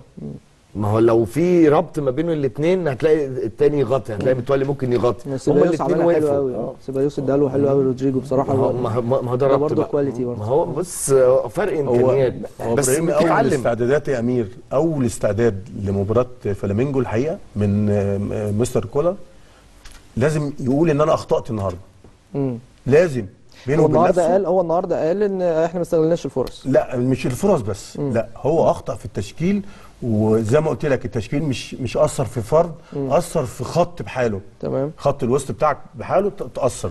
الحاجة الثانية أنا آسف، أنا بس بختلف مع حضرتك في ده كده. آه. طب هستأذنك لو كان مثلا قفشة ما لعبش كان هي- هيلعب مثلا حمدي فتحي في نص الملعب ثلاثة طب مين اللي هيبقى؟ كان في ربط ما بينه وبين ال- المهاجمين قدام. طب ما إحنا بنلعب كده على طول يا كان حمدي. حمدي. بس هو مش هتبقى. يا لا بص هقول لك حاجة يا إبراهيم. مع احترامي ليك كابتن والله هقول لك بس حاجة هقول لك بس حاجة. أنت مش اديت حمدي واجبات هجومية.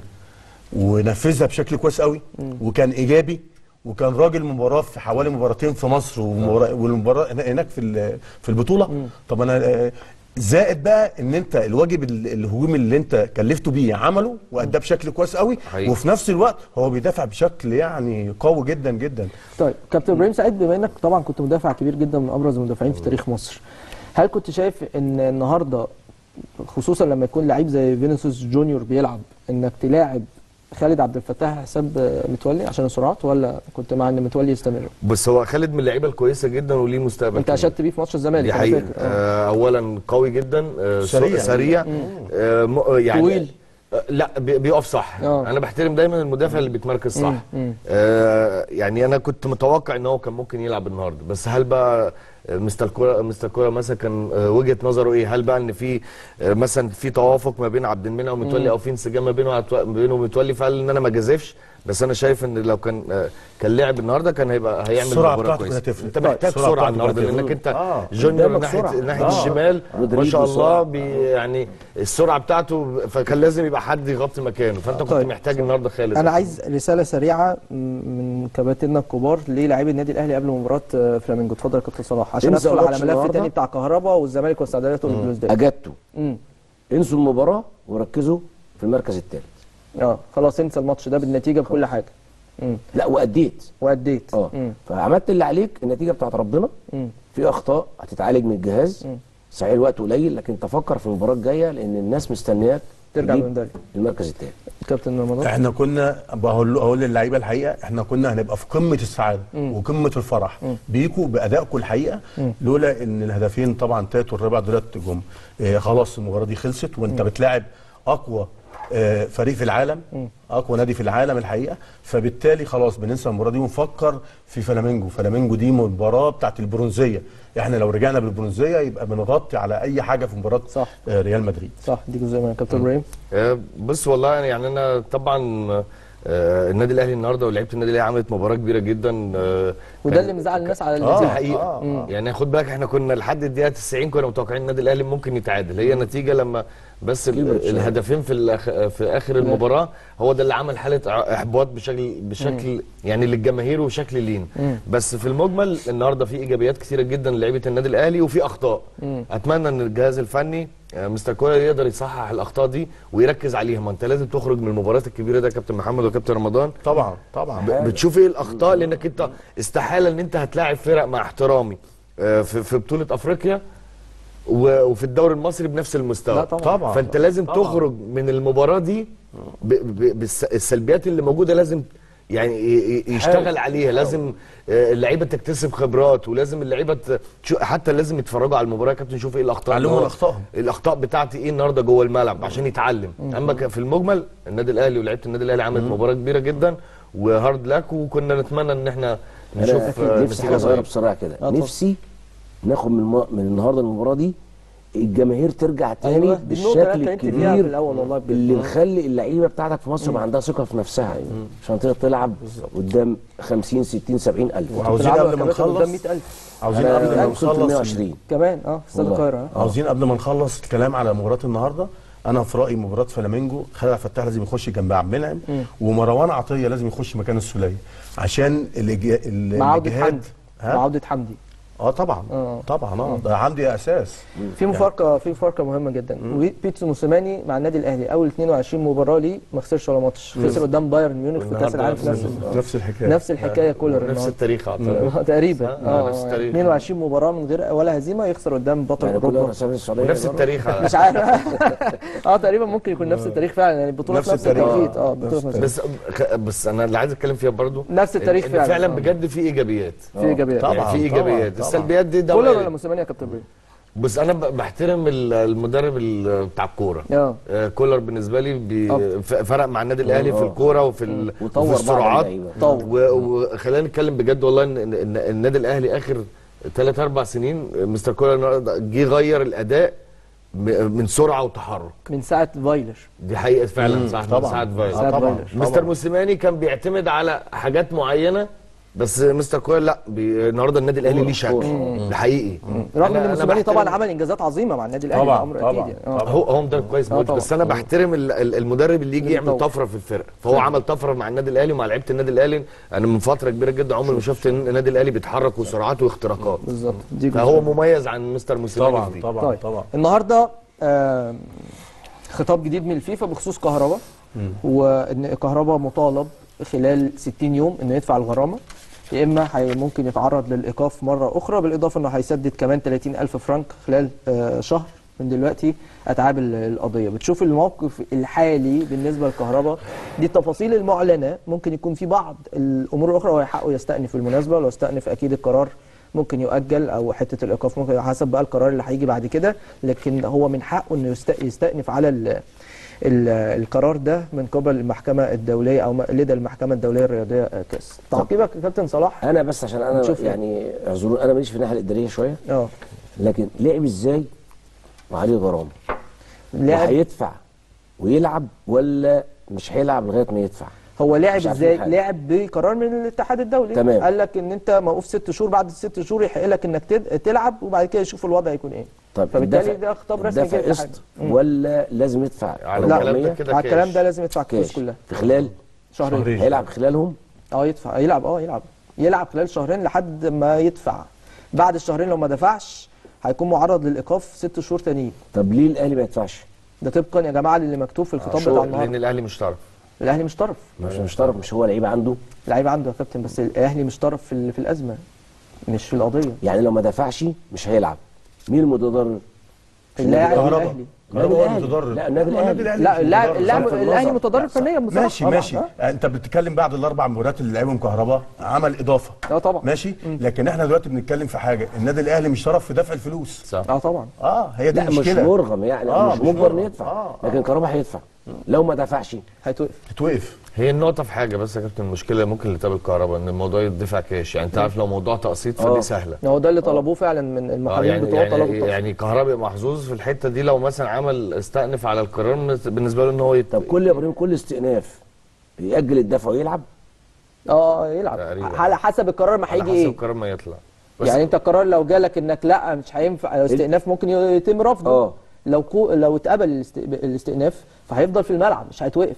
لغاية لغاية لما يجي قرار بعد الاستئناف شهر 8 لو كل شيء لو ست اتقبل شهور. الاستئناف هي يبقى اللي القرار في شهر صعبت 8. بس إن هو كاش يا كابتن يعني دي مبلغ كبير برضه دي مشكلة يعني كبيرة. ال- ال- 2 النقطة مليون يا كابتن 2 مليون 400 ألف دولار آه يعني لو انت عارف لو المبلغ كابتن مثلا الفيفا مثلا وافقت له على طب التقسيط فين- العقوبة فبالنسبة لي فين حتى العقوبة ابقى موجود في الملعب؟ وبيتخصم من العقد بتاعي اللي على ممكن النادي البرتغالي آه، ممكن يجي لي إعلانات موجودة ممكن يجي لي مثلا. آه،. ربنا يوفقه مثلا يمشي كويس مع النادي الأهلي مثلا في بطولة افريقيا فالحاجات دي يعني بتفرق خصوصا كمان لما اللعيب بيبقى جوه الملعب بتقدر مشكلتك تتحل. صح. بس الموضوع إن هو يدفع كاش دي آه، صعبه صعب قوي. طبعاً، ما أعرفش هتتحل إزاي بصراحة يعني. بس هو الكابتن محمد صلاح اتكلم في جزئية مهمة هو طرح تساؤل مهم جدا هو الأهلي فين من الموضوع هل الأهلي يدفع ولا ما يدفعش؟ آه. طبعا. أنت شايف الأهلي لازم يدفع يا كابتن؟ هو هو مش لازم. ماشي. أنا كنت بتكلم مع كابتن رمضان. أنا ليه عقد في الأهلي سنة مثلا؟ حلو. ممكن الأهلي يجدد له سنتين ثلاثة تمام. بمبلغ معين. يتخصم كل سنة.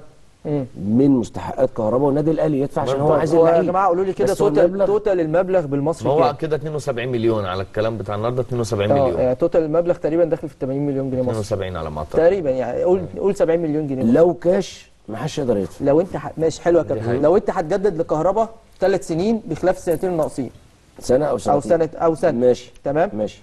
72 مليون صح يا كابتن تمام. تمام. لو انت هتجدد لكهرباء ثلاث سنين هتجدد له بكام؟ عشان يقدر يسدد الغرامه ايا كان بقى دي ميزانية الأهلي أنا ما اتدخلش لا ما إحنا. بنتكلم طبقا للي إحنا متابعينه. قول الأهلي- 20 مليون مثلا. لا ما فيش في الأهلي 20 مليون. أقل؟ أو كهرباء أصلا عقده دلوقتي 10 مليون جنيه في الموسم 10 خليها 10 10 في 4 ب 40. 40 خلاص؟ ما أنت بتدفع لي جزء وأنا زي ما إبراهيم ليا مثلا ان شاء الله مكافئات ليا بطولات وهو. كهربا هيدفع جزء بقى. أكيد يعني طبعاً. سهل آه، لازم هي- كهربا يدفع. يعني يا كابتن انت عايز الأهلي يجدد لكهرباء أربع سنين ويديله الأربعة مقدم لا هو مش. هتحصل مش هتحصل. أنا بتكلم هو. دلوقتي النادي الأهلي؟ ده لعيب عنده لكن هو مش مجبر يدفع له مبلغ كاش نادي الأهلي. ما هو لو ما دفعلوش كاش طبقا للي حصل النهارده ده. حلو أو مش هيلعب. مين المتضرر سيبك من كهرباء النادي كمان متضرر فنيا طبعا. بس النادي يا كابتن ما يقدرش يدفع فلوس لأن النادي الأهلي أو أي. نادي في الدنيا. عليه أيوه مساءله مساءلة. سهله طبعا. عليه برضو رقابيه في نقطة أصعب إن أنا م- آه، كنادي أهلي ما ينفعش أجدد مثلا مع كهرباء آه، خمس سنين وأنا ما أعرفش مستواه الفترة الجاية هيبقى عامل بالظبط. فالأمور صعبة من كهرباء كل 28 يديله سنة. طبعا لعيب مهم قوي لعيب آه. مهم قوي بس كهرباء. لا قدر الله موقف يحصل إصابة أي حاجة بعد الشر يعني. اي أي حاجة. يعني هو خصوصا لعيب الكورة يعني تحس إن آه الموضوع بيبقى صعب شوية. أنت النهارده كويس ممكن في لحظة مش ماشية معاك تعقرب. امم أمم، صح صح. لكن كهربا زي ما الكابتن رمضان لما رجع كان متعطش فعمل ماتشات طبعاً. الناس معاه. ترجع تاني معاه معاه. هل ده هيساعده في إنه يدفع ال 72 مليون؟ لا صعب. هو الحل الوحيد اللي النادي الأهلي ممكن يخدمه فيه إن هو يتعمل يتعمل مثلا مذكرة استئناف إن هو يتقسط له المبلغ. بس كده. بس. دي دي ويتوافق عليه من من الفيفا. ده كده يبقى الأمور هتبقى تمام جدا بالنسبة للنادي الأهلي وبالنسبة ل- لكهرباء طيب. إن هو يقدر يسدد حتى الغرامة عن طريق ال- العقد بتاعه. مشي كويس. ممكن يجي السنة اللي جاية يقول مثلا هيتجدد له فتبقى ماشية كده. أقصى حاجة الأهلي ممكن يعملها يا كابتن لو هو جدد عقد كهرباء يديله 15 جنيه في- آه، 15 مليون. جنيه 15 جنيه. 15 مليون في الموسم. ده صعب قوي برضه.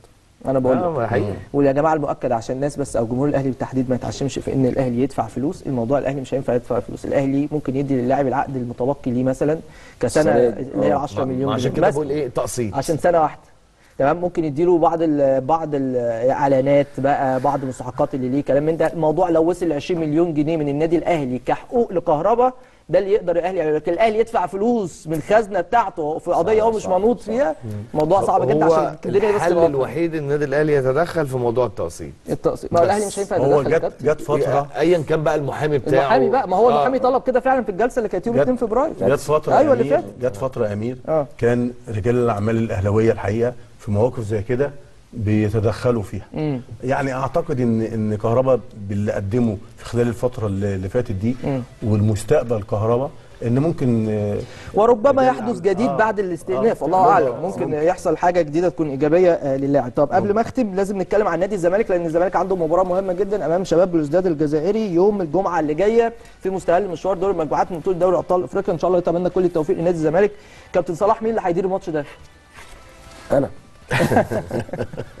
كابتن اسامه نبيه ولا كا... مستر مشكلتنا؟ الماتش اللي فات آه زي ما قلنا مين اللي هيدير. والناس قالت فيريرا.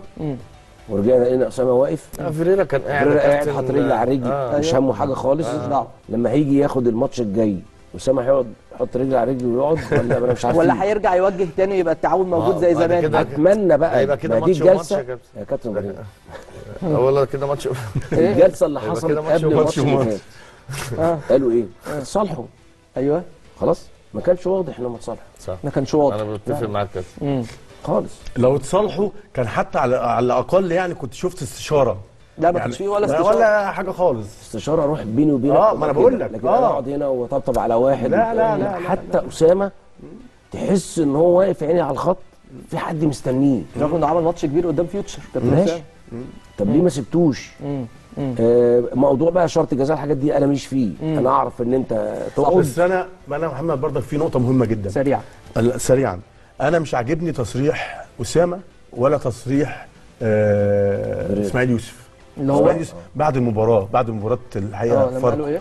لما قالوا إن إحنا أنا قلت لهم بعد مباراة فيوتشر إن إحنا هن- هنتعب الفترة اللي جاية دي ومش هنقدر نحقق نتائج عشان الماتشات قريبة جدا من بعض يا جماعة ما دي معروفة معلومة. ما انت كده بتقول للعيبة أنتوا عندكم مبرر ان أنا أنا ب- ب- بشوف مبرر ليكوا اهو. طيب يعني عشان مهم عشان جداً لازم. اختم اخد تعليق برضو من كابتن إبراهيم سعيد على الجزئية دي ورؤيتك في مباراه الزمالك وبلوزداد ومين يدير الماتش. ب... لا ما... هو المفروض فريرا هو خلاص كده فريرا آه يعني هو هو فريرا ما... ما... اللي أنا رجع يعني... أسامة آه، مدرب عام؟ آه. ما هو بناء على ما بناء على الكلام اللي نازل إن فيريرا مدير فني. خلاص، آه. صح ولا مش صح؟ صح. يعني حتة بقى إن مين يدير دي دي حاجة لا، المفروض الكورة خلاص. بصراحة يعني. ما ينفعش حتى بص ما تديش حتى انطباع للعيبة واستقرار للعيبة. وعاد عاد عبد الغني وشيكابالا والزناري التدريبات الجماعيه كمان. بص خلينا نتكلم برضو مع عودتهم هم الاثنين برضو في عندهم مشاكل كتيرة جدا في الفترة الأخيرة من الأداء. يعني أدائهم مش لا مش صح فارق أبو غني مع, مع نادي في بطء. الزمالك. يعني وجودهم أو مش آه. وجودهم هم يعني ما ما ما أدوش مع نادي الزمالك في الفترة الأخيرة عشان يتقال حتى عودتهم. يعني مش. هيضيفوا شيء. تمام. إن هم مستواهم في الفترة لو لو الاخيره بيرجع الونش ممكن تقول آه طبعا يرجع يعمل اضافه قوية جدا. دي حقيقة. هتفرق بشكل كبير جدا مع نادي الزمالك. أما مع احترام للزناري وعبغاني الاثنين أسوأ من بعض. شيكابالا آه، بص يعني ما شيكابالا بي بي بيلعب له آخر 10 20 دقايق وخمس. دقايق مجرد إن هو كقائد للفرقة فتواجده مهم. بس هنتكلم من مين يقود دي صعبة جدا. أنا كلاعب هبقى موجود وحاسس إن مع احترامي يعني كابتن رمضان وكابتن آه، آه، محمد صلاح هم الاثنين بيديروا ما أعرفش آه، مين المدير آه. الفني. هتبقى مشتت. مع احترامي كابتن محمد صلاح ممكن يجي يقول لي حاجة؟ أقول له ماشي. بعد كده يجي لي كابتن رمضان يقول لي حاجة فأنا هنفذ كلام مين بقى. في فريق الأحلام. أيوه صح. اللي بيجيب جون بيروح للي بيحبه.